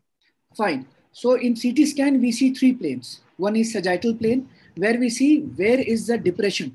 Is it more on the lateral side, more on the medial side? Is it a tongue type or is it a joint depression? So this is very much elucidated. In the coronal plane, you also see uh, whether there is a varus or valgus. And in the um, uh, sorry, in the axial plane. And in the coronal plane, we actually see the subtalar joint and we see how many cracks are there starting from the subtalar joint into the calcaneum, and thus we classify it into Sanders and plan our approach. Suppose if it's Sanders 2, then definitely MIS can be thought of. If it is Sanders 3 and 4, then we are away from MIS, we are more towards lateral extension side. Right. So, uh, Abhishek, I have uh, gone through your advice, and sir, these are just the you know, radiological markers. So here the polar angle is actually negative. Normal is 20 to 40 degree, but it is negative minus 25. You can see the alignment of the heel is almost in the varus. There is a significant lateral wall blowout. There is a significant subfibular impingement. Uh, you can see the shortening of the calcaneal height and the broadening of the calcaneal width. So these are all my indication in young patients of doing a surgery because I wanted to avoid a calcaneal malunion in the bad position. But this was a very disappointing thing for me when I was planning for the surgery. But as the Chandak sir has nicely mentioned, that you have to wait in such kind of foot injuries at least for the 10 to 14 days till you get a good resolution of the soft tissue and uh, then you can proceed for the surgery. So I have waited for the 10 days and after 10 days still there was a big blister uh, on, on the lateral side over the over my lateral approach incision. And uh, because of too much of the displacement, I think the soft tissue resolution was not good in spite of having a strict protocol of elevation, enzymes, and uh, elastocrep application and all. So this was a day 10. So I've gone through uh, the advice of uh, Dr. Abhishek Jain. He told me to go for CT scan, which tell you about the actual depression of the fracture that you can see it is almost completely inside the substance of the. So this is my posterior facet. And this is the Sanders uh, classification, which you can do only on the CT scan on the coronary. It give you the idea about how many fracture I have to deal if I am going for the MIS technique. And definitely a lateral wall blowout, which tell me, no, you have to keep the plate ready. You have to keep the screw ready and maybe your fully threaded screw will be more helpful when you have to span such kind of. So these are some important DDCT. You can see, look at the uncoverage of the talus. This gives the idea about the bad talar depression. Look at the subfibular space. These are the space where the peroneal tendons they lie and it is very small. So if you conserve it, they may come to you with the bad peroneal tenosynovitis and the varus and the combination at the level of uh, subtalar joint. So uh, the next thing, how do you plan when you have a, a, a bad soft tissue in spite of waiting for 10 days, 11 days, and such kind of injury. May I ask Ashish sir, sir, how do you see on day 10 such kind of injury, bad soft tissue? Ashish sir? So let, let me tell, I mean, this is where you guys see this fracture lot more than any other places. I mean, being at the level one institute, we like my partner and I collectively, we do like four to six calcaneus a week. Okay. So one thing that we have learned, if this patient comes with this type of skin condition, the only thing which I will change here, I will go ahead and put the external fixator on this patient. Okay. You, you must be thinking this guy is crazy, you know, but you, you might have noticed when the comminuted type of calcaneus fracture, when you are operating within a day or within either you operate within 24 hours or you have to operate after two weeks when the swelling and wrinkles sign there, right? So you might have noticed when you operate within 24 hours, it's like, you know, it's like a butter, you know, you can move the pieces so easily, you get the perfect reduction. And when you take it after two weeks, it's painful, okay? So one thing, what I do here for these patients is I put them in the delta frame, like Steinmann pin, I mean the pin going from the calcaneus. I get the length, height, varus valgus like you know alignment. If necessary, I add the gastroc recession for this patient. And I do this some joystick maneuver, if possible, with the KY to maintain the pitch, height, and the length. Okay. So that's one thing. But now, if this patient came to see me let's say 12 weeks, I mean 12 days or 14 days, right? And if the skin condition permissible at the time, Now I've changed everything to more of the sinus tarsi approach. But if you're not done a couple of dozen calcaneus fractures, you should not do that. Do the regular approach. And the way we, we mentioned, like, you know, that keep the picture of the opposite side on your C-arm or keep the sawbone calcaneus in the plastic bag. So you can keep on formatting that, you know, and whatever the Girish mentioned the principles, that's very important you mentioned this. But here, I, I do the osteotomy, lifting up the posterior facet here, you know. So that's a very important, like Romash osteotomy, like you might have noticed, you might have seen. So I keep the machine under the axial view or Saltzman view. And like, you know, I put the osteotomy through this underneath the fragment and lift it up and do the varus valgus alignment here, correction of the varus valgus alignment. Am I answering your questions or I, I did not understand that? So I might have learned 100 calculation fracture from you under your fellowship, but every time when you discuss, you get some good ideas and uh, thank you. It gets more clear. Thank you. I appreciate it, sir. So, uh, so uh, in my case, uh, when I had option to go for the one surgery, we were not very trained in putting an external fixator on the calcaneal fracture. So I decided to go for the sinus tarsi approach because my soft tissue were not favorable. So this was the thing. The these are this is a small incision started from the base of the uh, fibula going to the base of the fifth, fourth metatarsal. Sorry, and you have to compromise the calcaneofibular ligament. The moment you cut, the capsule, you see the joint directly. And these are the some manipulative things which I have done. One one wire to control the tuberosity varus this impaction of uh, the medial sustentacular piece like this, putting a small osteotome or uh, a peri I mean the uh, periosteal retractor, periosteal elevator, and a very important instrument, Hintermann retractor, uh, and uh, the lamina spreader, which are very important for the joint elevation, as you can see here. Without wasting the time, let me show the importance of the lamina spreader. you can see here the, there is a big step on the posterior facet and but, but if you put on the subartic the lamina spreader on the subarticular uh, plane you can get a good uh, elevation of the joint. And the moment you get a good elevation of the joint surface you can put the additional wires and you can transfix temporarily to the talus also uh, to maintain your temporary alignment. When you are satisfied with the reconstruction of the Böhler angle, Gissane angle, we can put a small plate to control the lateral wall blowout and uh, to control the axial alignment, a 1 cc screw. Uh, uh, and this is how I completed a case with a 1 uh, cc screw under the posterior facet as well. And this is how the plate was appearing subperoneal uh, plating. And uh, this is my soft tissue closure. So in spite of having a lot of petechial bleeding inside the soft tissue after enough weight, uh, still uh, we would have uh, achieved a good soft tissue healing and a good radiological realignment of uh, the depressed uh, parameters. So here you can see the Gissane angle, calcaneal height, width, uh, and they are all under the good reconstruction. so this is the soft tissue healing, which is very satisfactory. You can go for the early I mean, uh, mobilization of the patient as well after a good uh, fixation of all the components of the injury. And this is like my ongoing research, which is still not published of 110 patients, including 118 feet.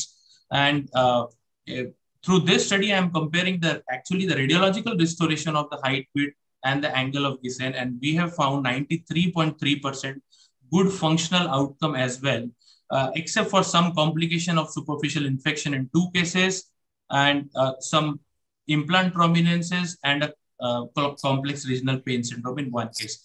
Uh, in, in comparison to the other study which is published, this study is having a large number of patients. All surgery are done by a single surgeon and we are involving only type 2 and type 3 Sanders. And it's a prospective study.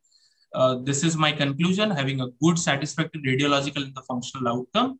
Of course, our study has some limitation. It is not randomized it didn't have a control group so that we can have a comparison and the follow-up is short, but still many patients are in uh, the good recovery. Thank you for your kind attention. Girish, wonderful presentation as usual.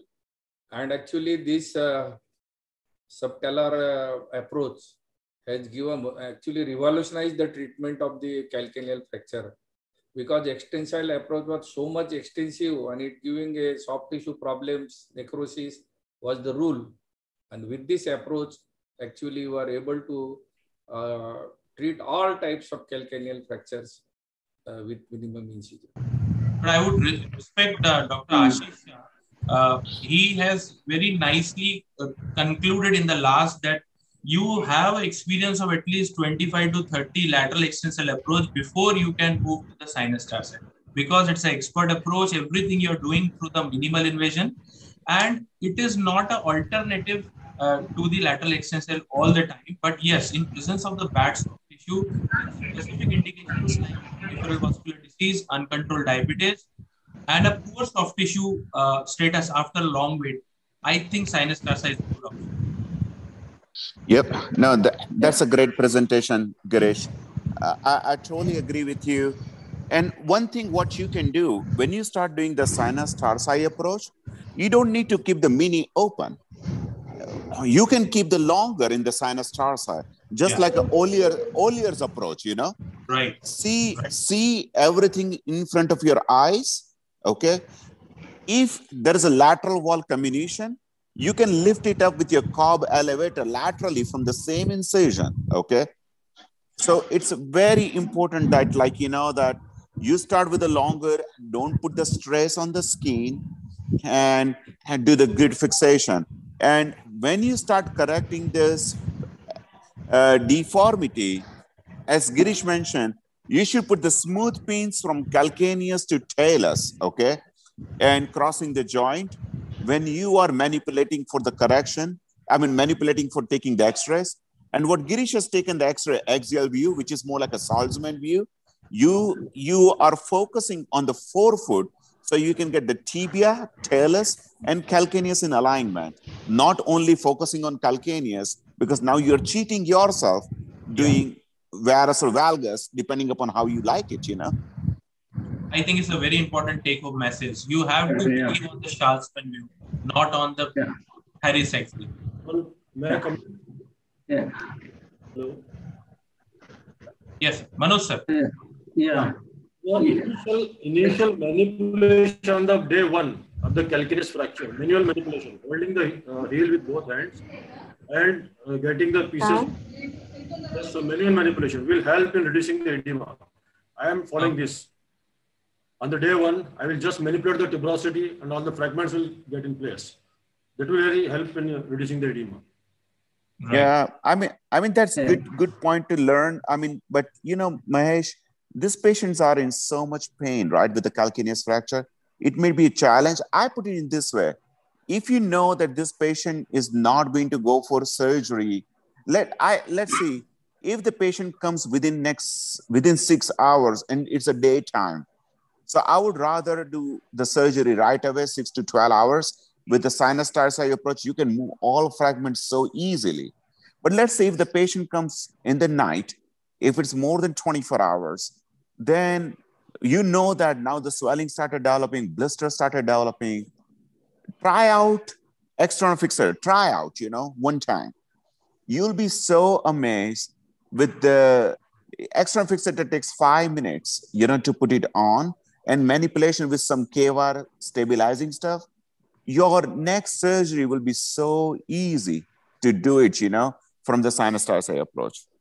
But would definitely love to learn your outcomes, like, you know, on 20, 30 patients, hey, you are doing some manipulation under sedation and it's helping to bring the swelling down for sure.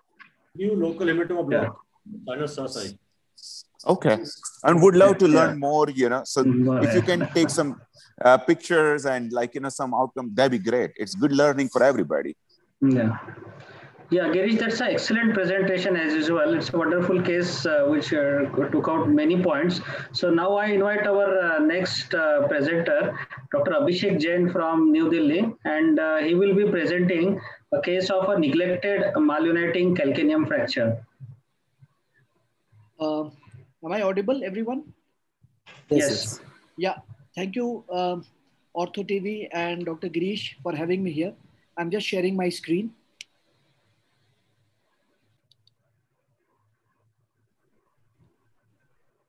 Is my screen audible, uh, visible? Yes, Abhishek, go ahead. Yes, yeah. yeah. Hi. So uh, my presentation is pertaining to the fact what happened when that calcaneal fracture came to Girish and he was in a vacation in Goa. So the patient later turned out to me that, okay, Dr. Girish was not there. So after six months, what is going to happen? So that is where this presentation comes in. So my patient is a 60 years old lady who had a fall from height seven months back, sustained left calcaneal fracture. She was treated with cast. Now she presents with pain on lateral aspect of hind foot on walking with intermittent swelling. Now, in this was a very simple and straightforward case, but I would just like to take a tour of how do I think and what do I think when I see a calcaneal malunion. So, heel pain with history of calcaneal fracture, my workup would include where is the pain, when is the pain, can the patient squat, is Abhishek, any sorry, sorry for interrupting you. Can Yeah. you make a full screen? Uh, is it it is a oh sorry. I'm sorry. Yeah sorry. Yeah. It's okay now? Yes, yes, Abhishek. Go ahead. so when is the pain? Can the patient squat? Is there any tingling numbness or burning? My x-ray workup would include a weight bearing foot lateral view and a hind foot alignment view and definitely an ankle ap view. Ct scan may not be always required for me now, what I am concerned with in a calcaneal malunion, the first thing, which is very obvious, is a subtalar arthritis. Second, any varus or valgus deformity, a residual deformity. Third, a lateral wall or a plantar exostosis. Fourth, a loss of talar declination or a loss of calcaneal height, which doesn't allow a full dorsiflexion of ankle, any nerve entrapment on the medial side, or any chronic peroneal subluxation, which is quite common in Sanders 3, or a peroneal entrapment, a subfibular entrapment when there is a uh, lateral wall blowout. In this patient, my examination findings were there was no coronal plane deformity there was no varus valgus. It was a, as I told, it was a straightforward case. As inspected from back, there was subfibular tenderness. Subtalar range of motion was minimal, and that too was with pain. She was able to squat, and she generally, when there is a calcaneal uh, malunion, the subtalar arthritis, the pain occurs when the patient walks on uneven terrain but this patient had pain whenever she used to walk, mostly on the lateral side. Now, this was the x ray. So, my x ray findings were like definitely there was a loss of Gissane and Bohler angle. The talus was more horizontal, which meant that the calcaneal calcaneum has lost its height and the declination angle of cal talus was lost and the talus was more dorsiflexed in its attitude. In the Saltzman view, we could see there is a bump on the lateral wall, which could be the cause of peroneal, uh, which could be the cause of subfibular tenderness. But having had a look at this x-ray, one thing was very difficult to digest that the patient was able to squat without any problem. So my diagnosis was it was a calcaneal malunion with a subtalar arthritis, lateral wall exostosis, and a subfibular impingement. And as per the classification by Rammelt and Zwipp of calcaneal malunion, it had fallen into type 1.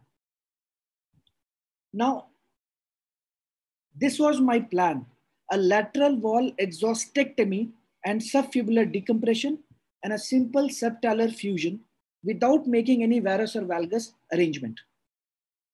Now, this was my plan. What would have been my plan if the ankle dorsiflexion was restricted? Then I would have to increase the talar declination using a distraction arthrodesis like this and putting a perhaps a tricortical iliac crest graft in the back of the subtalar joint. Well, I didn't do this one because the ankle dorsiflexion was apt for a good spot.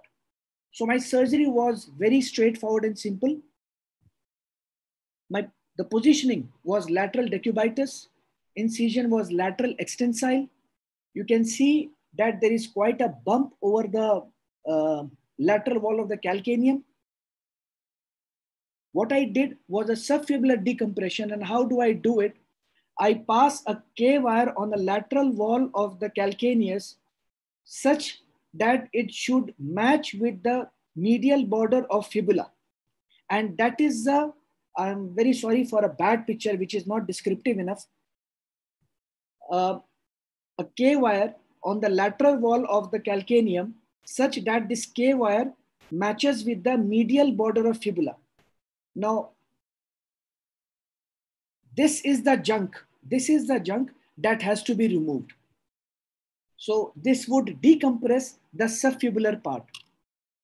You do a cartilage uh, denudation, prepare a subtalar joint, and then I fixed it with a 6.5 cc screw in situ.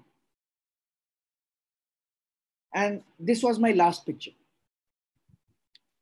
Thank you.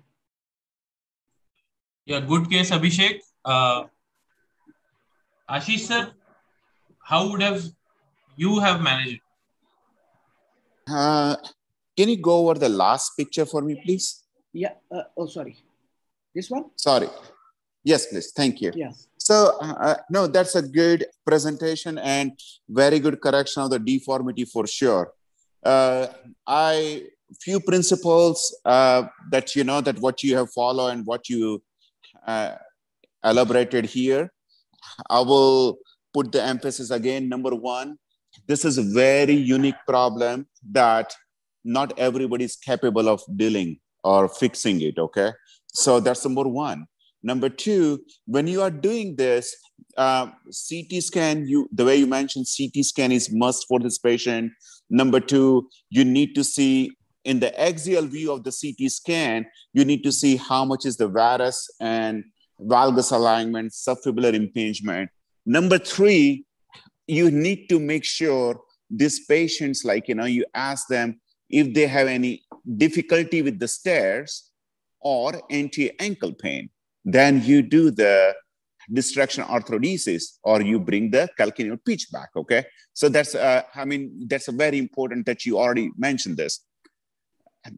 When I do this patients, like, you know, I do CT scan, take the patient in the surgery.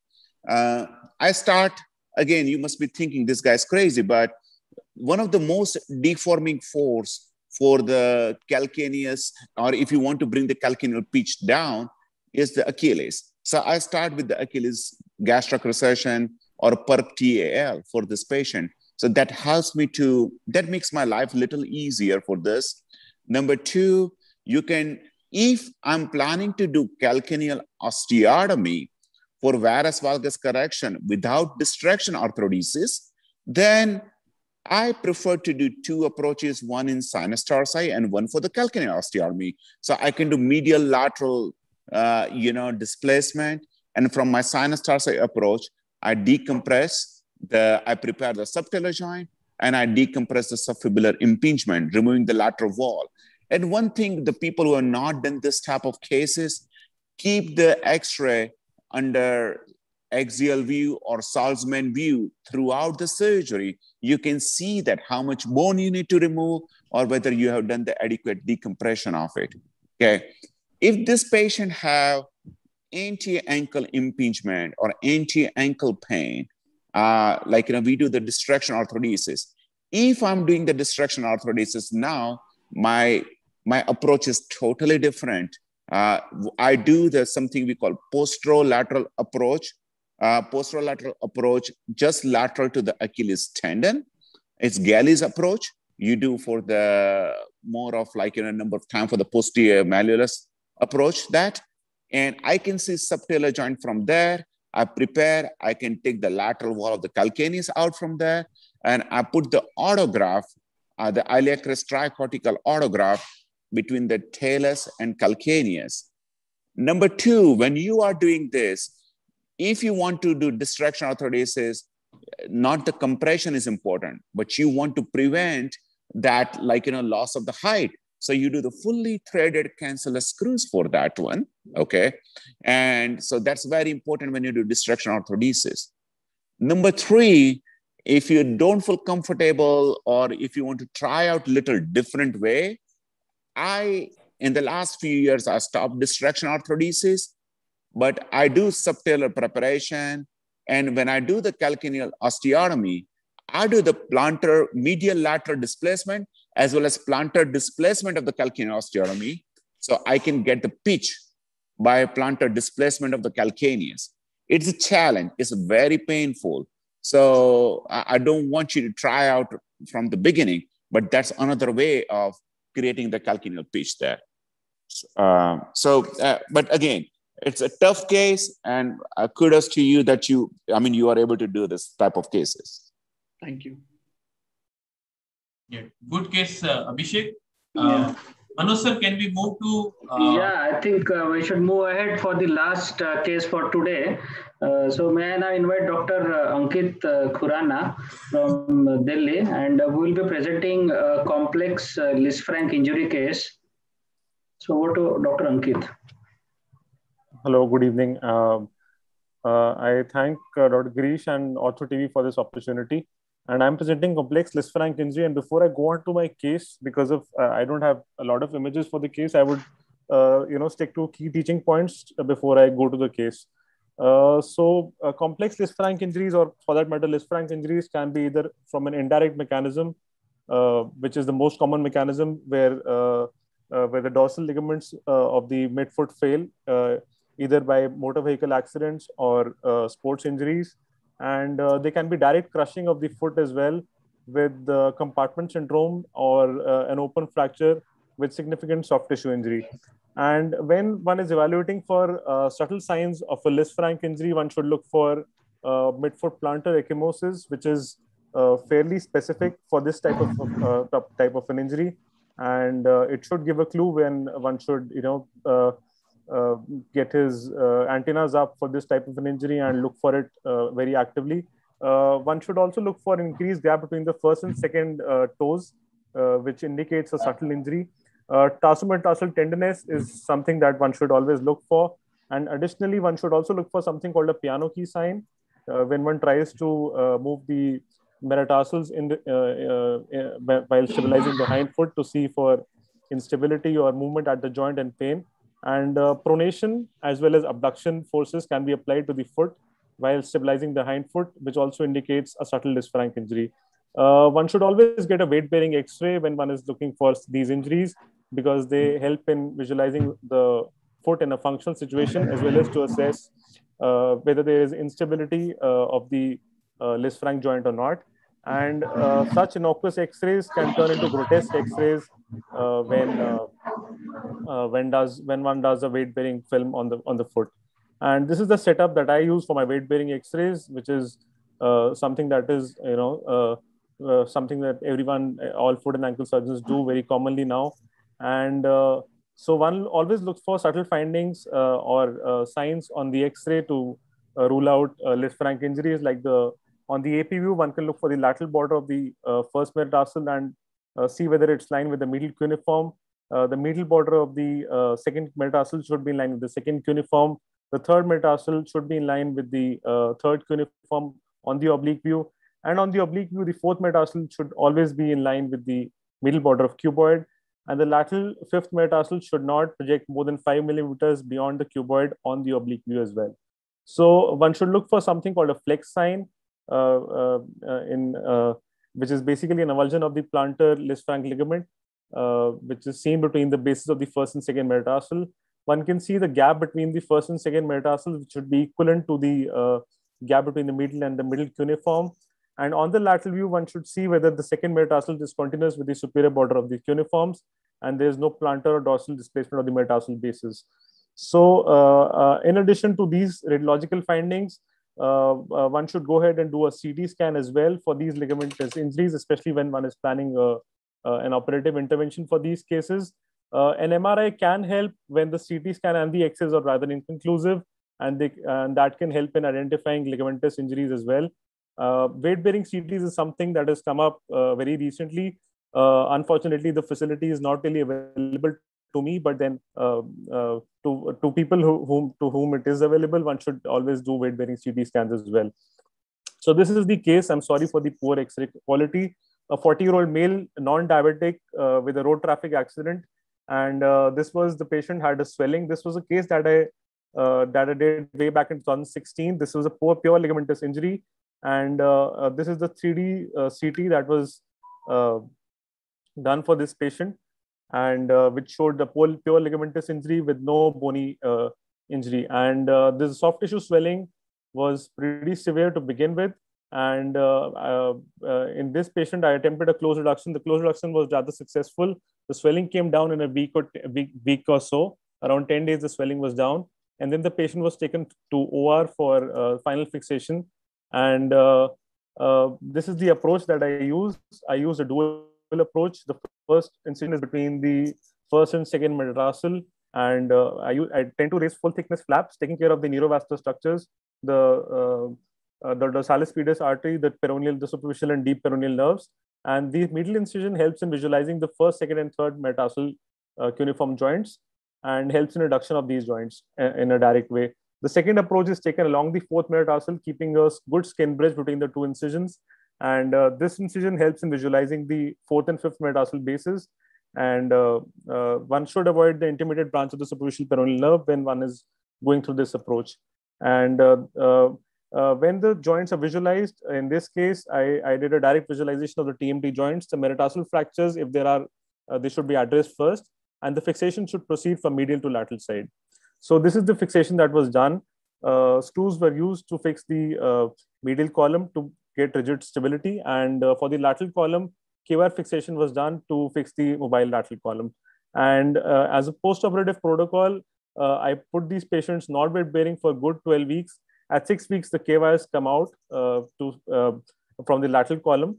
And at about six months, I plan for hardware removal for these patients and this is what the X-ray looked at uh, six months uh, down the line when the hardware was removed. And uh, patient was also advised, uh, uh, patient is, uh, my patients are advised an insole with, a, with, a, with an arch support, which they need for quite some time after this injury. And this is another case that I had. It is an isolated middle column injury with the, first metatarsal base fracture. This case was rather neglected and I put in a JESS fixator and fused the first TMT joint for this case.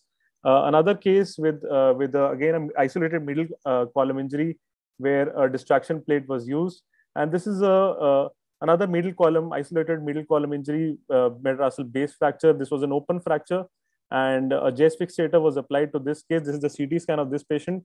A JESS fixator was applied, and the first metatarsal base fracture was fixed. Uh, uh, to uh, and the soft tissue management was done simultaneously. So this is another so, pure ligamentous injury, uh, Lisfranc injury with the that was fixed with screws for the middle column and K-wires for the lateral column. And when there is a fracture of the of the metatarsals along with along with the ligamentous injury, like in this case, uh, I used uh, a plate to stabilize the fracture and the Lisfranc screws and the uh, tarsometatarsal screws to fix the middle column and K-wires for the lateral column. And this is what the X-ray looked like at, uh, uh, uh I think, three months of follow-up that this was. And uh, to finally give the take-home message, I would uh, drag everyone's attention to this review article that is published in EFORT a couple of years back. And this sums up the entire literature that, that is available on Lisfranc injury management. so there are six commandments that this article gives. And the first one is that to correctly diagnose and treat these injuries, one should understand the anatomy of the tarsometatarsal joint. And uh, most of the uh, Lisfranc injuries, especially the low, low velocity injuries, are, are pure ligamentous, and most of them are missed, about 20% as per this article. And they can lead to severe post traumatic osteoarthritis that can lead to disabilities in the future. And it is a fair common cause of litigation as well. Weight bearing radiographs and CT scan are compulsory when assessing these injuries. Uh, uh the operative management should have uh, the principle is to uh, uh, obtain stable fixation, but the only role of conservative management uh, in these cases is stable lesions without displacement, and that is the only role where conservative treatment can be done for these injuries. and all other injuries require surgical treatment with the aim of obtaining anatomical reduction and rigid fixation of the first, second, and third cuneiform metatarsal joints, and relatively uh, uh, uh, not so rigid fixation for the uh, lateral column.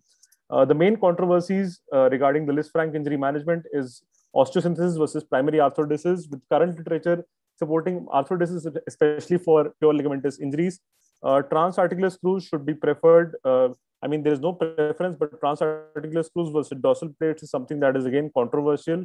And uh, the most appropriate surgical approach is again controversial, with some surgeons going on to use a single uh, approach on the dorsum uh, along the third metatarsal and an additional medial approach. But I tend to use dual approach along the, which is the first one is between the first and second metatarsal, and the third and the second uh, approach is on along the fourth metatarsal. So the my preference is uh, open reduction internal fixation with transarticular screws and the use of dorsal plate is limited to combination of metatarsals and cuneiforms. So that is what I prefer. Thank you. Thank you, Ankit. Uh, good presentation in the short period of the time. Uh, Ankit, few quick questions. Uh, so let's start from the evaluation, then go to the treatment and then surgery. So in your first evaluation, I uh, I know the gross Lisfranc injury are very obvious on the X-ray, but let's talk on the subtle injuries for the young orthopedic surgeons. So when uh, nothing is clear on the X-ray and you have a big doubt that this is how do you manage or how do you investigate such kind of injuries? So when you my my go-to is to look for clinical signs. Uh, like I mentioned, I look for plantar ecchymosis, and once I find plantar ecchymosis, uh, the only exception that uh, mm. the differential diagnosis that I have, other than a Lisfranc injury, is a plantar fascia rupture, which is again pretty rare. And in addition to that, I look for tenderness at the tarsometatarsal joint. I see for the piano key sign. And if any of that is positive, I go for weight bearing x rays apart from my conventional x ray series, an AP lateral and an oblique view, and an AP and lateral view in, in weight bearing. And if there is any any shred of doubt, uh, I, I tend to advise them fixation. Otherwise, uh, uh, as per you know, there's a classification given by Nunley et al. that uh, you know classifies these into one, two, and three. Type one, two, and three. So type one injuries are ones that don't really displace out when you put them under stress and those in- injuries can be managed in a cast boot non-operatively as per the uh, you know findings of Nunley. And uh, two millimeters of displacement on a weight-bearing uh, radiograph from a non-weight bearing is an indication of fixation. Two millimeters is something that cannot be measured again. But then, if you see any visible displacement that is different from the which which is visible with the naked eye, that indicates that it is a unstable injury. Yeah, Mahesh sir, uh, in your in your setup, you have seen this kind of the similar injuries. Uh, sir, how do you uh, how do you feel like how easy is for the patient to go for the weight bearing X-ray on the same day of the injury? Uh, it's very difficult to go for the weight bearing X-ray on the very first day. Uh, uh, so how do you manage on the initial like before the weight bearing? Yeah on clinical grounds, either uh, Dr. Ankit said, ecchymosis and piano sign, visible X-ray gap, uh, gap on the X-ray. Weight bearing X-ray, if possible, after uh, repeat X-ray after uh, say two, two to three days. And in some cases, uh, we can go for the MRI in, uh, in pure ligamentous injury. Yes. Ashish sir, are you there, sir?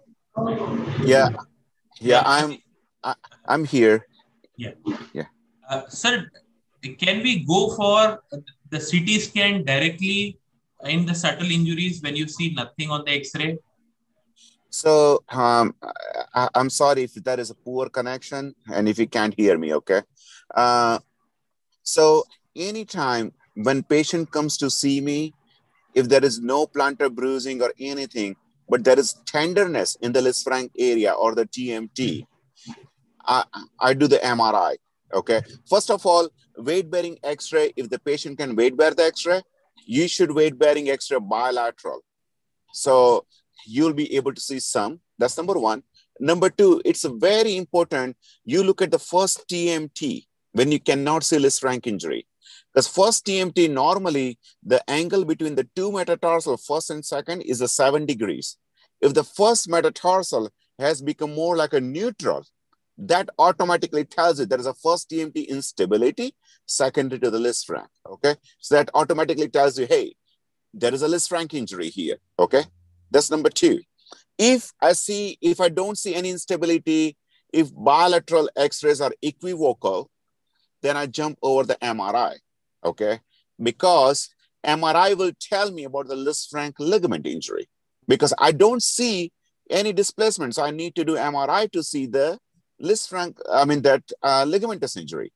If MRI shows a Lisfranc ligament injury, and the way Ankit mentioned that if it's less than two millimeter displacement, okay, then or uh, then I do with a non-weight bearing casting treatment for this patient and gradual mobilization depending upon reduction of the tenderness. Okay, but you still need to do serial X-rays for this patient.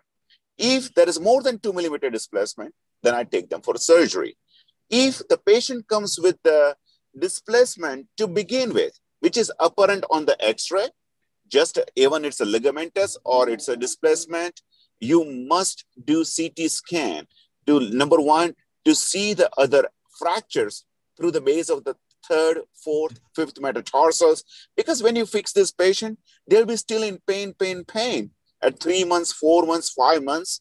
So you need the documentation, or you need to you need to tell the patient, hey, you did not get just a Lisfranc injury. You have intraarticular fracture, four, five TMT, and other fractures, you know? So it's very important you do CT scan when it's obvious on the X-ray that there is a Lisfranc injury.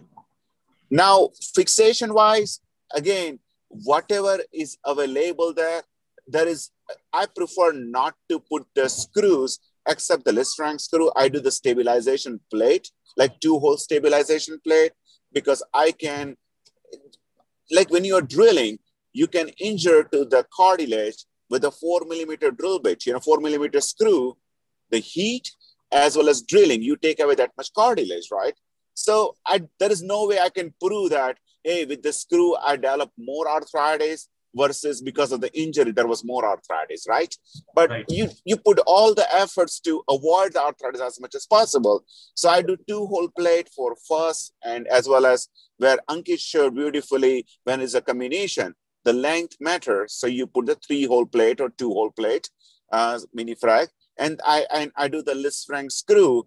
Uh, you can do from cuneiform to metatarsal, or you do metatarsal to cuneiform, but make sure is bicortical. You are engaging all four cortices.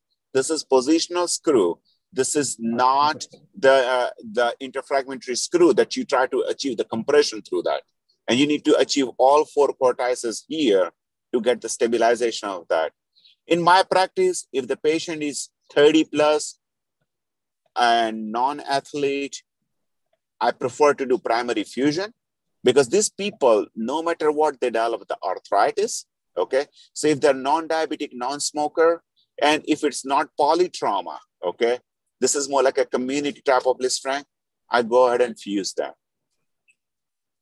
So that this is my take home message, or this is what how I'm able to replicate this results of these patients uh, with this type of injuries. So if anyway, if you want to conserve a subtle injuries when the displacement is not more than 2 mm, what is the period of immobilization time? Is the same like the other injuries or it is different? Like I, I use the, like, you know, again, uh, this is again, the, it's a level six evidence, not even level five. It's expert opinion, I would say, you know. I do the, look at the local tenderness in this patient and if there is no if there is no tenderness and x-ray is not showing the displacement which comes down to in my population comes down to like six weeks. So by six weeks or so slowly they're transitioning partial weight bearing to full weight bearing in a boot. And then switching over to stiff sole shoes like you can say kolhapuri sandals or you can put the carbon fiber plate in your shoes. Right. yeah. Ankit, can you please describe in short, like what is your sequence of the fixation if you are opting open reduction internal fixation using screws? So how you start with the first? So uh, when I'm when there is no fracture, it's a pure ligamentous injury. I uh, go from medial to lateral. I do the medial approach first, and then uh, I stabilize the uh, uh, the second metatarsal with the medial cuneiform. I put in the Lisfranc screw, uh, initially the screws that I put used to put were from the middle cuneiform to the second metatarsal, but over time I realized that it is better to have a larger target and then put the screws from medial to lateral.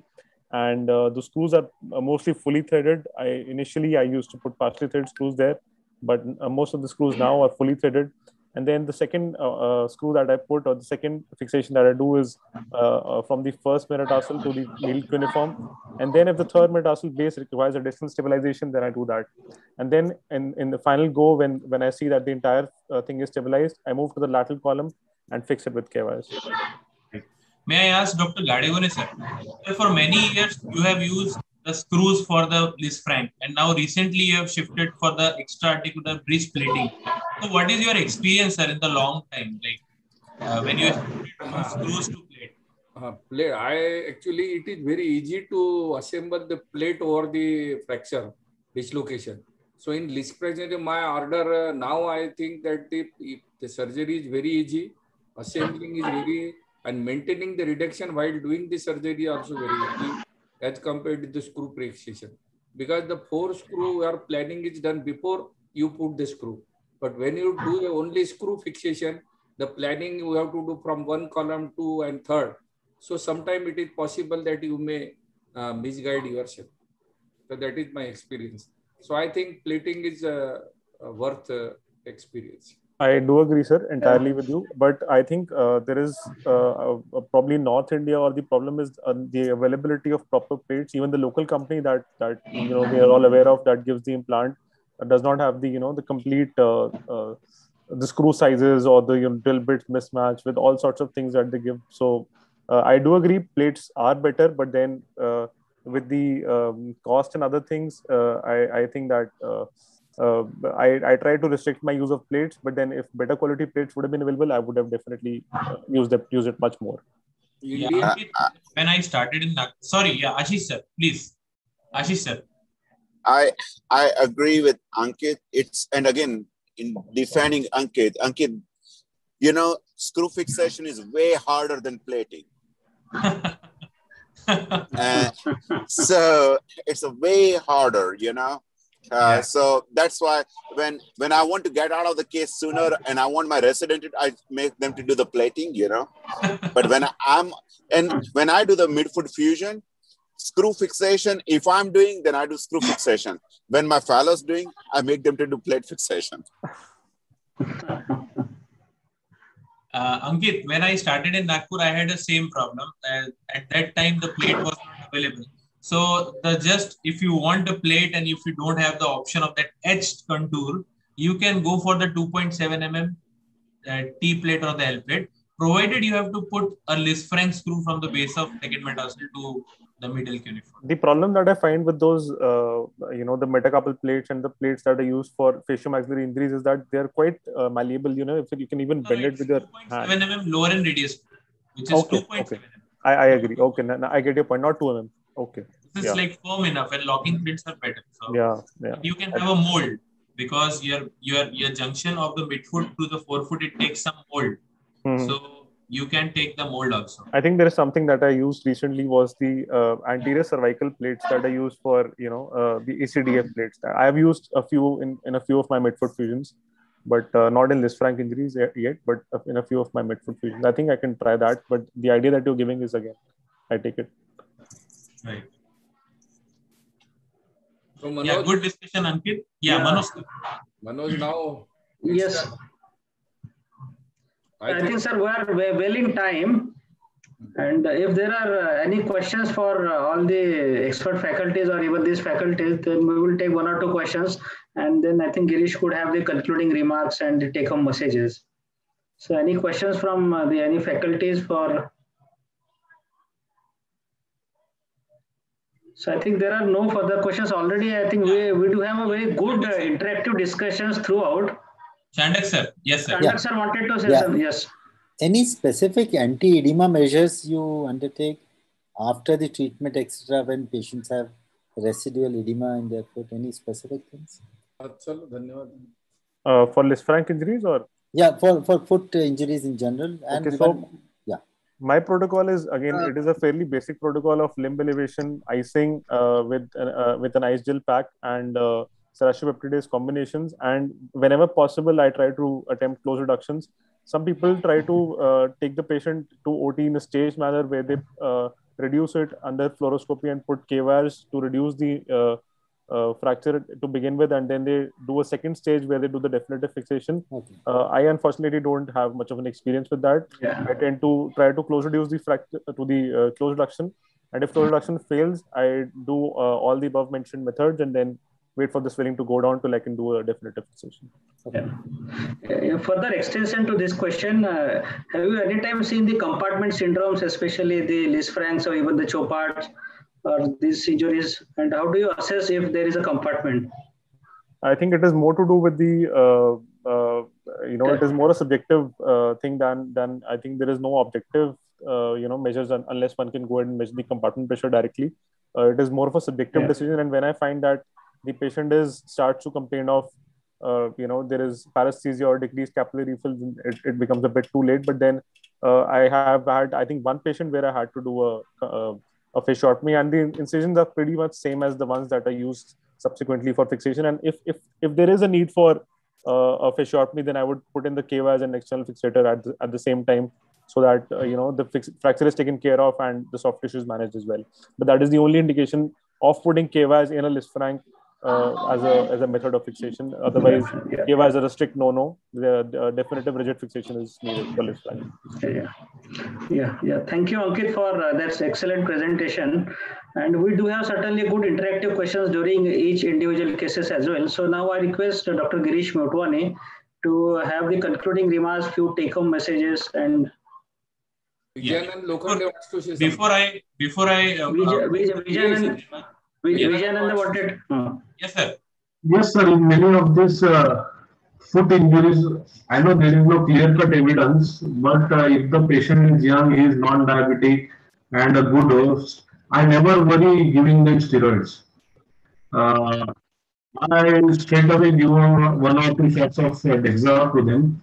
And personally, I have seen a definite reduction in the swelling and the edema later on. Again, many of the distal radial fractures also post fixation they really start mobilizing and quite comfortable later on. I don't have any evidence to support it, but uh, I still do it in some cases. So, do you have some fear of infection when you're doing that? Okay. Uh, they are uh, not more than two shots of Dexa. They are not a continuous type of. Yes, Can I Kimmatkar answer sir, you edema wanted. question? What I do? Yes, Abhishek. Yes, sir. So, more injuries, whether it be ankle, calcaneum, foot, whenever there is injury or sprain, there will be a lot of swelling because of gravitational flow and everything. So, I do all the cases cryotherapy. There is a cuff. There's there's a lot of companies we make regularly. What we do, we put ice packs. That is not very effective. In cryotherapy, there is a jacket for that comes, and jacket, and it is connected container which is what Yeah, what Dr. Jain wants to say is uh, to cold your compression. limit and yeah, cold compression. Yeah. And temperature drops to 4 degrees Celsius. And there market result very safe. And there is just elevation and then jacket. Even the major swelling, reducing seven is phenomenal. And you need not, and then you can go for surgical procedures. And calculate Hello? Uh, yes. I audible? Yeah. So Yeah. even after calculable or if now we don't give any about cast, we just give a dressing. After 14 hours, I start, I start this cryotherapy and allow mobilization at subtalar and ankle joint, which gives me great results. Yeah, Nitin sir. Nitin sir. Nitin. Sir, uh, I uh, want to make a point regarding that food compartment syndrome. Uh, what will be the sequelae of that uh, food compartment syndrome? Might be some clawing of the toes. I don't think that there should be any uh, point in releasing that compartments with three incision there and then do a plastic surgery for that. I don't think that it should be needed in that uh, that. It's just a clawing of toes what we can get in a long-term uh, as in compartment syndrome. But if it is infected and then tendons are exposed, or the Brussels flap is uh, then necrosed and we can have hell of a plastic surgery measures to uh, get a corrected correction of that uh. Do agree, sir. But uh, the only thing that changes is fixation methods. When, when when one has a compartment syndrome, the fixation you know entirely changes. Yeah, I, yeah. I, I, I, I, I agree with you completely. So, Girish, we will Yes. now conclude. Yes, sir.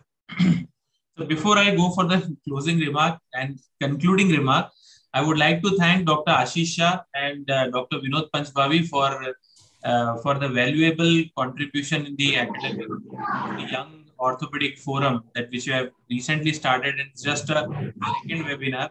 I hope this webinar is also a super successful like the last one. And uh, uh, so today we had a, a great five speakers from all around India, and we have started with the Parth. Uh, he he was my junior in Baroda Medical College. Uh, he uh, has done a, and in his case presentation, he has nicely mentioned about the importance of the dual approach and the technical uh, problems regarding the fixation of the complex talus. Uh, after uh, his talk, Dr. Mahesh Soni from the Ankaleshwar, he has nicely uh, demonstrated a bad case of the talar, uh, talus fracture, compound injury, uh, theme about the soft tissue management, future counseling about the wound complication, arthritis, implant related problem, and the talar AVN.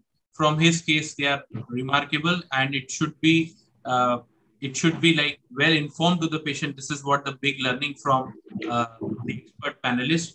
Uh, uh, Dr. Vinod Panchbhavi, he was a great contributor in the Indian Foot and Ankle Society academics. He uh, has nicely mentioned the importance of the fusion in the talar AVN. Although he has directly started with the management, but in the discussion part, he has nicely mentioned about the conservative role conservative management in the talar AVN, but the presence of the arthritis and the collapse, he said these cases should be managed with the hindfoot fusion. One important learning point from his talk is tibio-talocalcaneal nail fusion in the bad position. It is even more painful than the primary talar AVN. So if you're doing a fusion, do it in the right. This was a good learning point.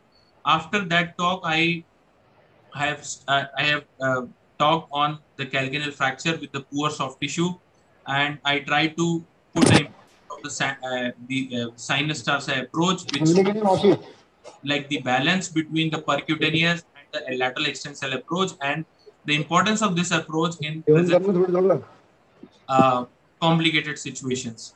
Uh, Dr. Abhishek Jain, my good friend from Delhi, uh, he has very nicely presented a bad case of talar AV, and I mean the uh, calcaneal malunion uh, with the lateral wall exostosis. But he said after six months, my patient will reach to Delhi. It is a bad thing. Like uh, this is the unacceptable the thing from his presentation. Otherwise, I would agree the importance of the distraction block uh, subtalar fusion. It's only, required. only when you are in Goa for the vacation, when the But patient had come to six you. months it is not possible. right. So you have nicely mentioned the importance of the distraction block subtalar fusion and the importance of the talar declination, which is, I think, a good learning all the cases of the talar, I mean the calcaneal malunion. And after that, Ankit, uh, you have very nicely covered a Lisfranc. It's a very big topic, but you have nicely covered in 10 minutes, including the cases also. And good learning points were how not to miss the Lisfranc importance of the weight bearing X-rays and the sequence of the open reduction interfixations. Thank you, Ankit, and all the other faculties for uh, for the important contribution. And uh, let me thanks Dr. Gadegone sir again uh, for for uh, giving uh, one more important chance to the budding orthopedic surgeon. And I think uh, without your contribution and without your guidance, we would have not arranged the uh, beautiful webinar which was conducted today. Yes, Girish, Girish, next webinar topic will be on infection around the ankle and foot. Yes, sir. Yes, sir. Yes. chronic infections. Note, noted, sir. Hmm. Uh, let me thanks Dr. Manoj Pahukar, sir, who is always with me for all small, small uh, instruction to all big suggestions. And I would say this is like the backbone of the uh, young orthopedic uh, webinar. And without his contribution, it is absolutely a difficult task for me to conduct a smooth webinar. And uh, let me thank the other panelists, Chandak sir, uh, Nitin Kimmatkar sir, Yogesh sir, and Lokhande sir for your valuable time and contribution. And thanks to everyone, Ortho TV, Neeraj sir, uh, for your important contribution for the for the live telecasting and a smooth interaction between the US and the Indian. Thank you, sir. Thank you, everyone. Thank you, Girish. Thank you. Thank you, everybody. Yeah, it was a wonderful Thank deliberation by all. Yeah. And a, and a big clap for both the moderators. Wonderful. No, Wonderful. clap for Fantastic. everyone. Yeah. Are, are, are, are, are we off the air now?